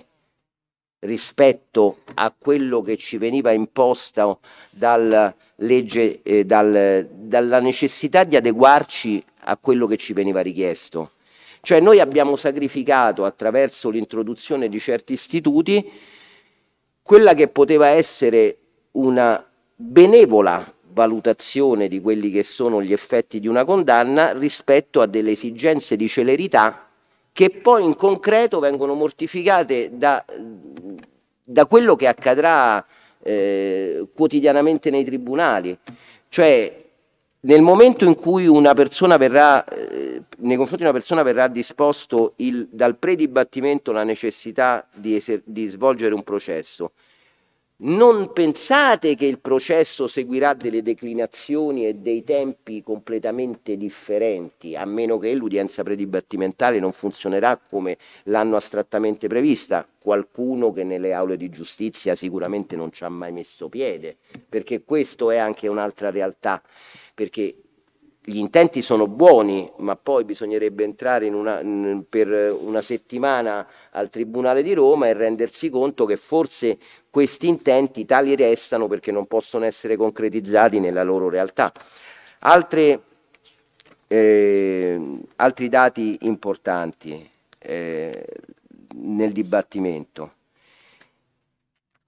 Oggi il, la circostanza che nell'udienza predibattimentale possano essere sollevate delle questioni preliminari di una certa importanza hanno dei riflessi eh, fondamentali. Prima si è accennato brevemente al discorso della competenza territoriale. Considerate che nel dibattimento a citazione diretta a giudizio vengono mutuate tutte quelle eh, cadenze processuali che sono proprie dell'udienza preliminare che troverete negli articoli da 21 a 27 del codice di procedura penale. L'eccezione di incompetenza territoriale può essere fatta una sola volta. Quindi viene negato sostanzialmente la possibilità di riproporla in dibattimento laddove non sia stata fatta l'udienza preliminare e una volta decisa l'udienza preliminare immediatamente o all'udienza predibattimentale immediatamente il difensore deve chiedere che sia vagliata dalla Corte di Cassazione a pena di decadenza perché dopo non può essere riproposta nemmeno nei motivi di impugnazione. E questo rappresenta un vulnus perché non è una eccezione di carattere assoluto le nullità a regime intermedio seguono la stessa disciplina. Quanto viene rappresentato in ordine alla, eh, alla formazione del, della prova nella fase investigativa, quindi le eventuali inutilizzabilità che possono essere fatte valere nel corso dell'udienza, dell'udienza predibattimentale, quindi rendendola in qualche modo veramente completa di contenuti, questa udienza predibattimentale che richiede un esame pari a quella dibattimentale di discussione può diventare qualcosa di importante. Mi faccio una domanda. Un giudice può con un giudizio prognostico, ad esempio, e faccio un esempio banale, valorizzare la circostanza che è stata resa una testimonianza non assistita da un soggetto che doveva essere indagato fin da lì. Faccio l'esempio più banale, l'articolo 63 del codice di procedura penale. Ha il fascicolo del pubblico ministero, io ho commesso un furto insieme al professor Spanger. Ovviamente al professor Spanger non l'hanno indagato e a me sì. È stato più bravo lui e hanno assunto delle dichiarazioni dal professor Spanger che doveva essere immediatamente indagato relativamente al reato di concorso in furto con me senza l'assistenza del difensore. Il giudice del predibattimento ha la dichiarazione, io mi sono, non ho parlato, non ho detto niente, ho detto comunque che non c'ero in quel momento, ma la prova principe di questo, di questo, del reato che mi viene ascritto sono le dichiarazioni del professor Spanger. Al giudice del predibattimento, io questa questione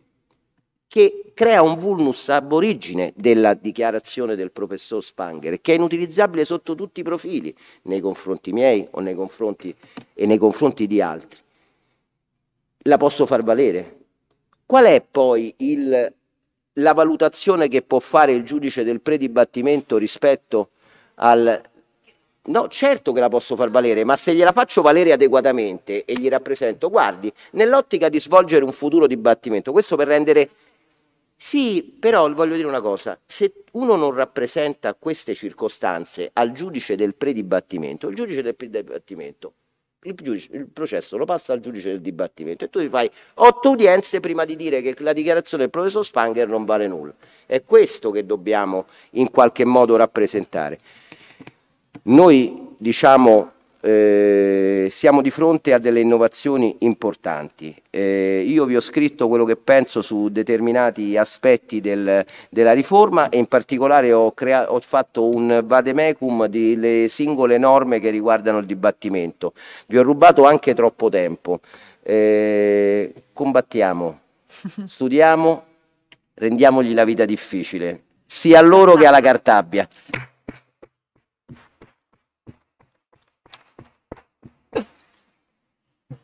Ringraziamo, ringrazio Cesare Gai soprattutto perché ha più volte detto l'avvocato più strutturato o, o strutturata e questo è l'avvocato penalista di sempre e forse ritorneranno in altri lidi invece chi non è particolarmente strutturato e che pensa che il penale per il suo fatto no. Quindi ritorniamo invece a, a, un avvocato penalista qualificato che poi ha una doppia anima, come abbiamo detto, più squisitamente puro penalista e più invece da misure alternative, da percorsi alternativi, ma questi entrambi che servono per la giustizia penale. E questo secondo me è un punto che grazie al tuo intervento possiamo focalizzare. Quindi il fatto che sia serva ancora più strutturato, ancora più raffinato, secondo me è semplicemente un miglioramento a cui possiamo tendere. E adesso, dulcis in fondo, Federica Federici, presidente di Nuove Frontiere del Diritto, io l'ho sentita già su questo argomento, sulla digitalizzazione del processo penale telematico, ripeto, anche qui adesso riprendiamo il discorso, cioè Marco Gabriele non solo come presidente di AICA ma anche come componente della Commissione Diritto Penale dell'Ordine di Roma, di Avvocati di Roma, qui dobbiamo andare di corsa perché una delle migliorie che porta è il processo telematico, cioè il fascicolo digitale, il fascicolo telematico, quindi o lo facciamo adesso oppure già all'ibrido, io ormai ho questo eh, problema, abbiamo, siamo tornati indietro, cioè io ho dovuto mandare due plichi per depositare un ricorso in Cassazione avverso una sentenza di una Corte Appello di Venezia e avverso una sentenza di primo grado dell'Aquila perché? Perché non essendoci l'ufficio impugnazione fuori sede, perché quello ormai l'hanno tolto, se depositi il telematico comunque devi depositare il cartaceo. E allora siccome è cosa fatta capo A per quanto mi riguarda l'organizzazione della mia vita, ho detto perché devo rimanere con questo parte che in Cassazione poi non le possiamo depositare proprio più, perché quindi poi arriveranno i diritti che ti arriva dalla cancelleria. Ma perché io al cittadino assistito devo far pagare delle spese aggiuntive che sono 50, che sono 300? E questo non è da poco, perché cioè, parliamo in termini proprio di completezza di quello che noi facciamo. Allora, questo aspe ci aspettiamo, professore, una circolare interpretativa da parte del... Eh, no, buonanotte. E c'è, buonanotte. Eh no, però voglio dire, lei ci aiuta, no? No, per carità. Esatto, ma anche perché se, se, noi dobbiamo andare verso il deposito, eh, transizione ecologica e tutto, il deposito digitale, noi dobbiamo depositare mezzo PEC, punto. Non capisco più l'utilizzo, la necessità di depositare il cartaceo. A che cosa serve se la notifica deve essere fatta a mezzo PEC, se noi ci arrivano a mezzo PEC? Quindi è da abrogare. Cioè che poi tra l'altro è stato già abrogato, poi è risuscitato. Vi racconto solo così per concludere questi momenti drammatici no? che io vivo come avvocatura affannata sono andato a fare un uh, fascicolo al 415 bis l'altro giorno e sono stato tre ore perché erano 20 no, è un problema tuo perché no, 415 aspetta, bis io copia, chiedo copia integrale aspetta, telematica eh, no, ma era 21 mi, erano, erano, erano 21.000 pagine. Eh, no, poi 21.000 pagine secondo quello che ho detto poc'anzi me le dovrei quantomeno non dico tutte perché non ci riuscirei mai però un pochino leggere. Eh, quindi avevo fatto una, bella, studio invece una bella selezione delle pagine che avevo deciso, riducendo da 21.000 a 2.000, ah. che già diventano una cosa viva. C'è un minuto deve parlare Federica no, Federici. No, certo. Oh, ma visto che parlate stiamo, del, del digitale, parlate del digitale, ovviamente spingo il bottoncino dove c'è scritto la copia cartacea, perché ho detto poi me devo stampare per leggere, io non riesco ancora ad adeguarmi ah. a questa cosa. Antico. Arrivo a, per pagare i diritti e mi dicono no, ma noi più di 300 pagine non le possiamo stampare va bene, posso modificare la mia richiesta in eh, formato elettronico? No, perché il, il, sistema non lo consente. Va bene, allora dico, mi riprendo la cosa e i file che ho individuato li, riscrivo, li risegno. Solamente che quando sono arrivato a un certo punto, questo è allucinante per il processo telematico, non funziona eh. questa cosa. arrivo a un certo punto di un PDF che conteneva praticamente tutto, c'erano i puntini dopo pagina 1200. Dico, va bene, ma riuscirò a recuperare quello che avevo richiesto e selezionato? No, assolutamente, deve riguardare... Che di copia integrale da remoto, così arriva tutto perfettamente in linea e siamo tutti felici. Federica Federici, a te, grazie per la pazienza. Grazie a tutti, eh, ringrazio Irma e il Consiglio per avermi voluto, è vero Irma mi ha cooptato sentendo questo mio intervento, solo che adesso dovrò ridurlo proprio all'osso. E come componente della Commissione Informatica in epoca pandemica eh, ho fatto già un primo intervento sul processo penale telematico, sono passati quattro anni, ne avrò fatti almeno una ventina e mi sembra la preistoria tre o quattro anni fa, in realtà oggi con la riforma Cartabia non abbiamo più scuse perché comunque il fascicolo telematico sarà l'unico fascicolo che stante anche la disciplina transitoria, che oggi avevo preparato un bel intervento ma mi ha egregiamente preceduto la dottoressa Roia, non è immediata, ma sicuramente la direzione in cui stiamo andando. E quindi noi stiamo, al di là della riforma Cartabia, andando verso uno scenario di avvocato digitale che quindi comprende l'aspetto informatico e l'aspetto analogico, quindi l'avvocato digitale che, che, richiede delle conoscenze, delle capacità che per quante resistenze vogliamo fare dobbiamo assolutamente armarci e, e imparare a fare. Questo i civilisti lo hanno passato prima di noi e adesso tocca a noi, dobbiamo dare il massimo. Ovviamente Ovviamente l'avvocato digitale riguarda eh, il mondo dell'e-justice in generale, e, mh, mm, ci chiama, ci siamo chiamati praticamente a uh, depositare, formare insieme alle cancellerie, quindi aiutare a formare i fascicoli telematici, sapere cosa significa sottoscriverli, datarli, come datarli, ma soprattutto distinguere il documento informatico da quello analogico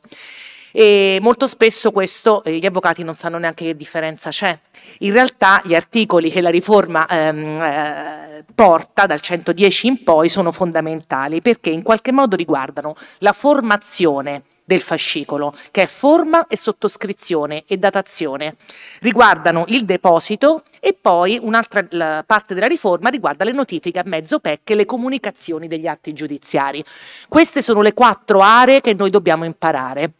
Quindi adesso io vi darò dei piccoli diciamo, cenni. Il documento informatico è quello che nasce per natura informatico, quindi ad esempio un atto nativo digitale che noi sottoscriviamo con la nostra firma, la cancelleria lo riceve, lo riceve con la nostra firma, quindi è un documento informatico a tutti gli effetti.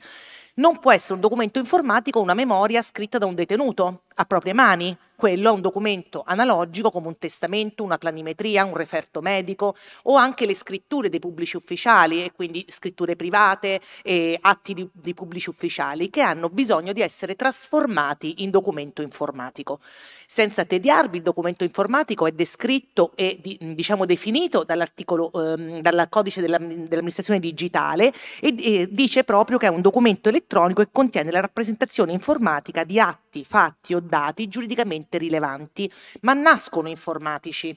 sono documenti che nascono già supportati da una scrittura e una codificazione di tipo informatico. Il documento eh, analogico è una rappresentazione, uno screenshot, una foto. Quindi noi abbiamo da depositare gli atti nativi che nascono digitali, sottoscritti digitalmente o anche attestando nell'autenticità di chi dovrebbe sottoscriverli e li depositiamo in quel modo. Gli analogici Mm, noi li depositeremo datandoli, sottoscrivendoli se possibile, se non è possibile sottoscrivere autenticando semplicemente l'identità della persona che ci ha dato quel documento, pensiamo a una prova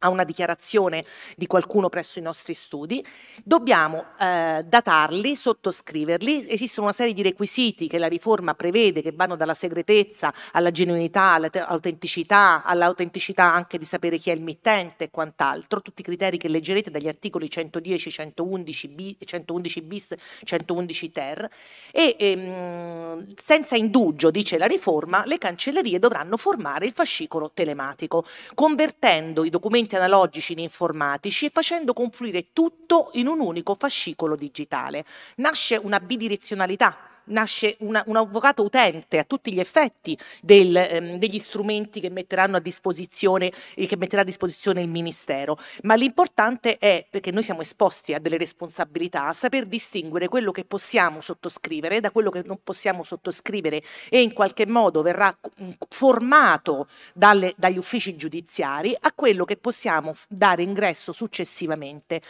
Il fascicolo telematico sarà unico e non ce ne saranno altri. È ovvio che ci sono delle formule con cui la legge dice salvo che non vengono previste eh, altrimenti, salvo che la legge non disponga altrimenti, ma di fatto noi stiamo andando verso un unico scenario di questo fascicolo telematico. Quindi dobbiamo imparare la sottoscrizione, la formazione, la datazione e poi dobbiamo anche imparare a capire come depositare e quando depositare. Su questo la riforma è chiara, l'accettazione del deposito deve avvenire entro le 20 23.59, quindi non possiamo fare il deposito alle 23.59, noi dobbiamo garantirci l'accettazione del nostro deposito entro quell'orario, quindi l'avvenuta accettazione da parte del, eh, del, sistema di quello che andiamo a depositare. Quindi non ci improvvisiamo, in questo eh, sposo pienamente ciò che diceva eh, Cesare, ma anche sotto il profilo di questa nostra eh, fare gli informatici a studio. E, mh, mm, su, per quanto riguarda il fascicolo eh, telematico, che sarà eh, oggetto di una serie di implementazioni, è ovvio che noi saremo a, a, alla mercé di quello che sono le risorse che la nostra giustizia ci mette mette a disposizione, quindi si prevedono tempi a geometria variabile a seconda dei fori, a seconda delle, delle cancellerie, a seconda del tipo di, eh, di, di, come si strutturerà anche il Ministero. Certo è che comunque ormai il requiem per la nostra, la nostra vita da avvocati digitali ormai è scandito. Per quanto riguarda, e quindi le norme che, dovete, che vi invito ad andare a vedere sono la 110, la 100, il 111 fino al bis e il ter. C'è, e qua non abbiamo tempo oggi, mi dispiace, però lascio un documento ad Irma, un approfondimento sulla restituzione in termini di cui parlava anche la dottoressa Roia, perché sicuramente le utilizzeremo. Eh, il 175 della riforma prevede eh, il, cosa succede in caso di malfunzionamento dei sistemi. Prevede due tipi di malfunzionamenti, quelli generalizzati, documentati, certificati dal DGSIA e quelli invece più localizzati e mh, più circoscritti magari al foro di Roma o a una semplice cancelleria, a un semplice diciamo, giudizio e in, quel, in entrambi i casi noi abbiamo la possibilità di essere rimessi in termine con tutta una serie di accorgimenti che troverete nell'articolo 175. Questo, su questo avrei voluto parlare di più ma non è possibile. Per quanto riguarda invece le notificazioni, allora intanto io consiglio di modificare subito la nostra procura, non solo con tutti i riti alternativi, pene sostitutive, sostitutive, ma mettendo il domicilio digitale della persona che noi assistiamo, perché io ho avuto già le mie prime mortificazioni, pre una preliminare due o tre giorni fa dove mi volevo costituire parte civile, ma non ho avuto tempo perché sono mh, persona offesa io come commissario del MEF e il Ministero è in ritardo sul darmi tutta una serie di documenti, non ero in grado di costituirmi e ho chiesto un rinvio, ho trovato una buonanima di, di giudice che me lo ha concesso di qualche mese eh, perché comunque altrimenti avrei, non avrei potuto più costituirmi. E idem l'abbreviato che ho dovuto scegliere, eravamo tanti imputati, eh, non ho potuto scegliere una linea difensiva diversa, il giudice ha, ha, cercato di uniformarle tutte, adesso non ho più un assistito, un assistito la sua famiglia, la famiglia allargata, che mi chiama tutti i giorni per capire perché siamo andati verso un abbreviato, come una sorta di ammissione di colpevolezza che loro non volevano assolutamente eh, approfondire. Quindi noi abbiamo la, la, la formazione, la, il deposito degli atti e le notifiche e le comunicazioni a mezzo PEC. Ormai esiste il domicilio digitale, di cui si deve dotare il nostro assistito, altrimenti ci siamo noi come avvocati, che va indicato e le notifiche devono avvenire tutte a mezzo diciamo di domicilio digitale. Gli articoli vanno dal 148 in poi, quindi si va dall'imputato all'imputato detenuto fino alla persona offesa, al querelante, alla, alle parti civili e quant'altro, ma il fil rouge di tutte queste norme è comunque quello che eh, si deve cercare e tentare in tutti i modi di notificare a mezzo mezzo PEC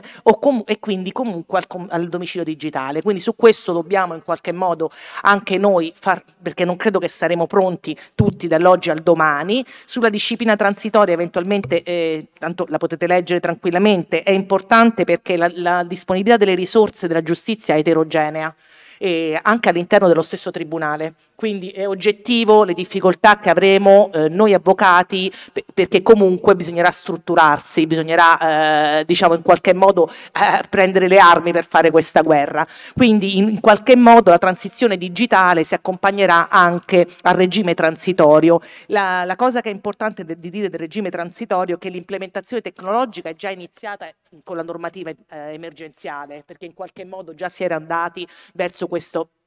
eh, scenario con le udienze da remoto e quant'altro. È ovvio che adesso si chiede un intervento imponente affinché noi possiamo in qualche modo seguire tutte queste norme che vi ho elencato tipo ricettario e me ne scuso eh, per poter in qualche modo non esporci a responsabilità professionali perché eh, in qualche modo noi avvocati siamo sicuramente meno di, diciamo difesi in questo da quelle che sono le, le limitazioni che la tecnologia ci offre. Mm, io ho ascoltato attentamente sicuramente tutte le relazioni, eh, quelle della dottoressa Roia mi, mi premeva particolarmente ascoltarle perché le sue sentenze, io ho due sentenze sue, una a mio favore e una a mio sfavore che faccio leggere a tutti i collaboratori quando iniziano il mio percorso a studio. E eh, in quella che, dove sono stata perdente ho sollevato anche una questione di, di costituzionalità, quindi per dire che eh, do ragione a lei quando ha citato Calvino il tempo, però purtroppo la tecnologia va rapida la tecnologia è schizofrenica, quindi coniugare le esigenze di tempo, di qualità, di giustizia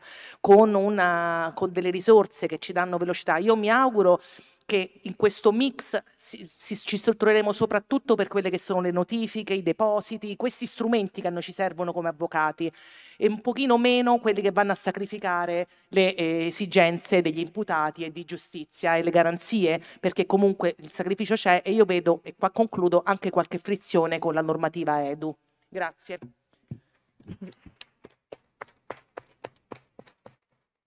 Grazie Federica. Eh, grazie a Federica Federici. Un'altra questione è Pades o Cades, no? Gli atti li firmiamo Pades o Cades. Adesso abbiamo appreso di, una, eh, un piccolo problema sull'apertura dei file firmati in Cades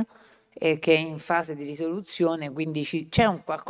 una fase di assestamento però lo stiamo monitorando e li stiamo tra l'altro anche sollecitando. Tra l'altro c'è stata una riunione il 27, c'è stato il consigliere Lepri, ne saprete, ve lo divulgheremo a breve,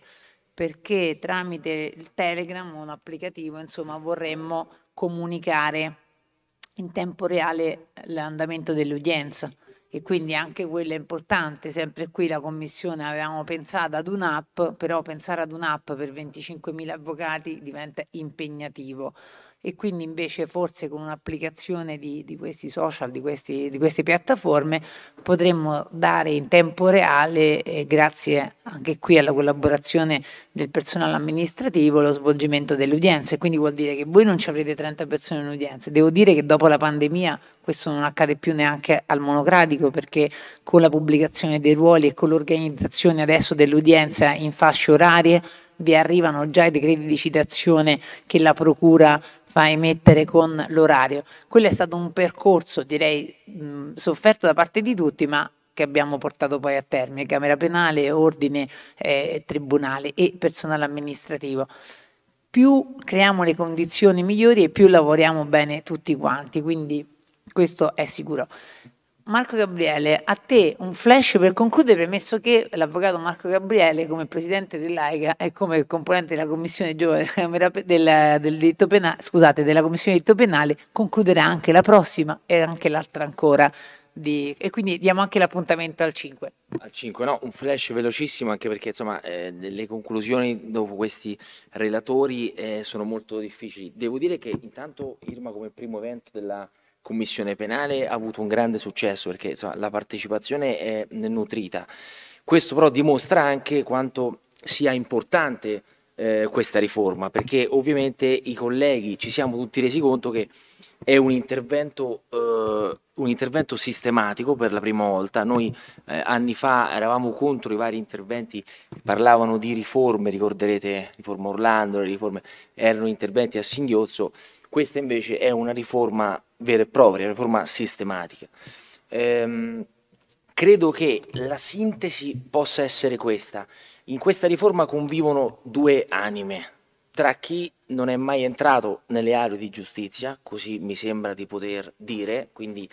forse una, una, un impulso mh, finalizzato esclusivamente a, a, a andare al dunque, e chi viceversa eh, figure sapienti hanno in qualche modo cercato di indirizzare gli interventi correttivi. La sintesi di queste due anime ha portato a questa riforma. Dico che a mio modo di vedere, la, mh, mentre il professor Spanger diciamo, in qualche modo ha cercato di darci un approccio partendo dalla da, ricerca del senso di questa riforma, cioè noi, la riforma deve essere vista secondo questa ottica, un po' partendo dalla razio. Abbiamo sentito la, la Presidente Roia che viceversa ha in qualche modo smantellato, ha parlato di una deriva, ehm, me lo sono segnato perché è molto interessante, di una deriva produttiva eh, di questa riforma andando ad evidenziare le criticità. Eh, la sintesi credo che si potrà fare e tracciare solo fra qualche anno. Quello che è certo è che, a mio modo di vedere, noi rischiamo, ma questo lo sa meglio di me il professor Spanger e gli altri relatori, se non ehm, in qualche modo ottimizziamo il procedimento penale, il procedimento inteso anche come contenitore del processo, rischiamo che fra qualche anno ci tolgano il grado di appello, professore, credo che sia questo. Quindi la, mh, se da un lato capisco quello che dice la Presidente Roia e in parte lo condivido, però a fronte di questo rischio enorme, io credo che ottimizzare il procedimento e la fase processuale sia necessario. Avvocati preparati, come diceva l'amico Cesare Gai o Federica eh, o gli altri eh, relatori che sono intervenuti, è fondamentale, perché un avvocato preparato, specializzato, mh, deve essere non solo il presente e il futuro, ma deve, dovrebbe essere il passato, perché abbandoniamo la filosofia dell'avvocato penalista che dice aspetto il 415 bis e con i rinvii arriviamo alla prescrizione. Questa è una cosa che appartiene a un mondo che dobbiamo, secondo me, seppellire. L'avvocato deve essere specializzato e sapere chirurgicamente come, eh, come muoversi. Dunque rimettiamo, penso a questo punto, al, al futuro ogni, ogni, conclusione. Ringrazio tutti i relatori e Irma, grazie a te per l'evento. L'appuntamento quindi è al 5 aprile e poi all'11 aprile, sempre stesso orario, con eh, consigliere Vincenzo Gommi e Marco Levi. Grazie a tutti.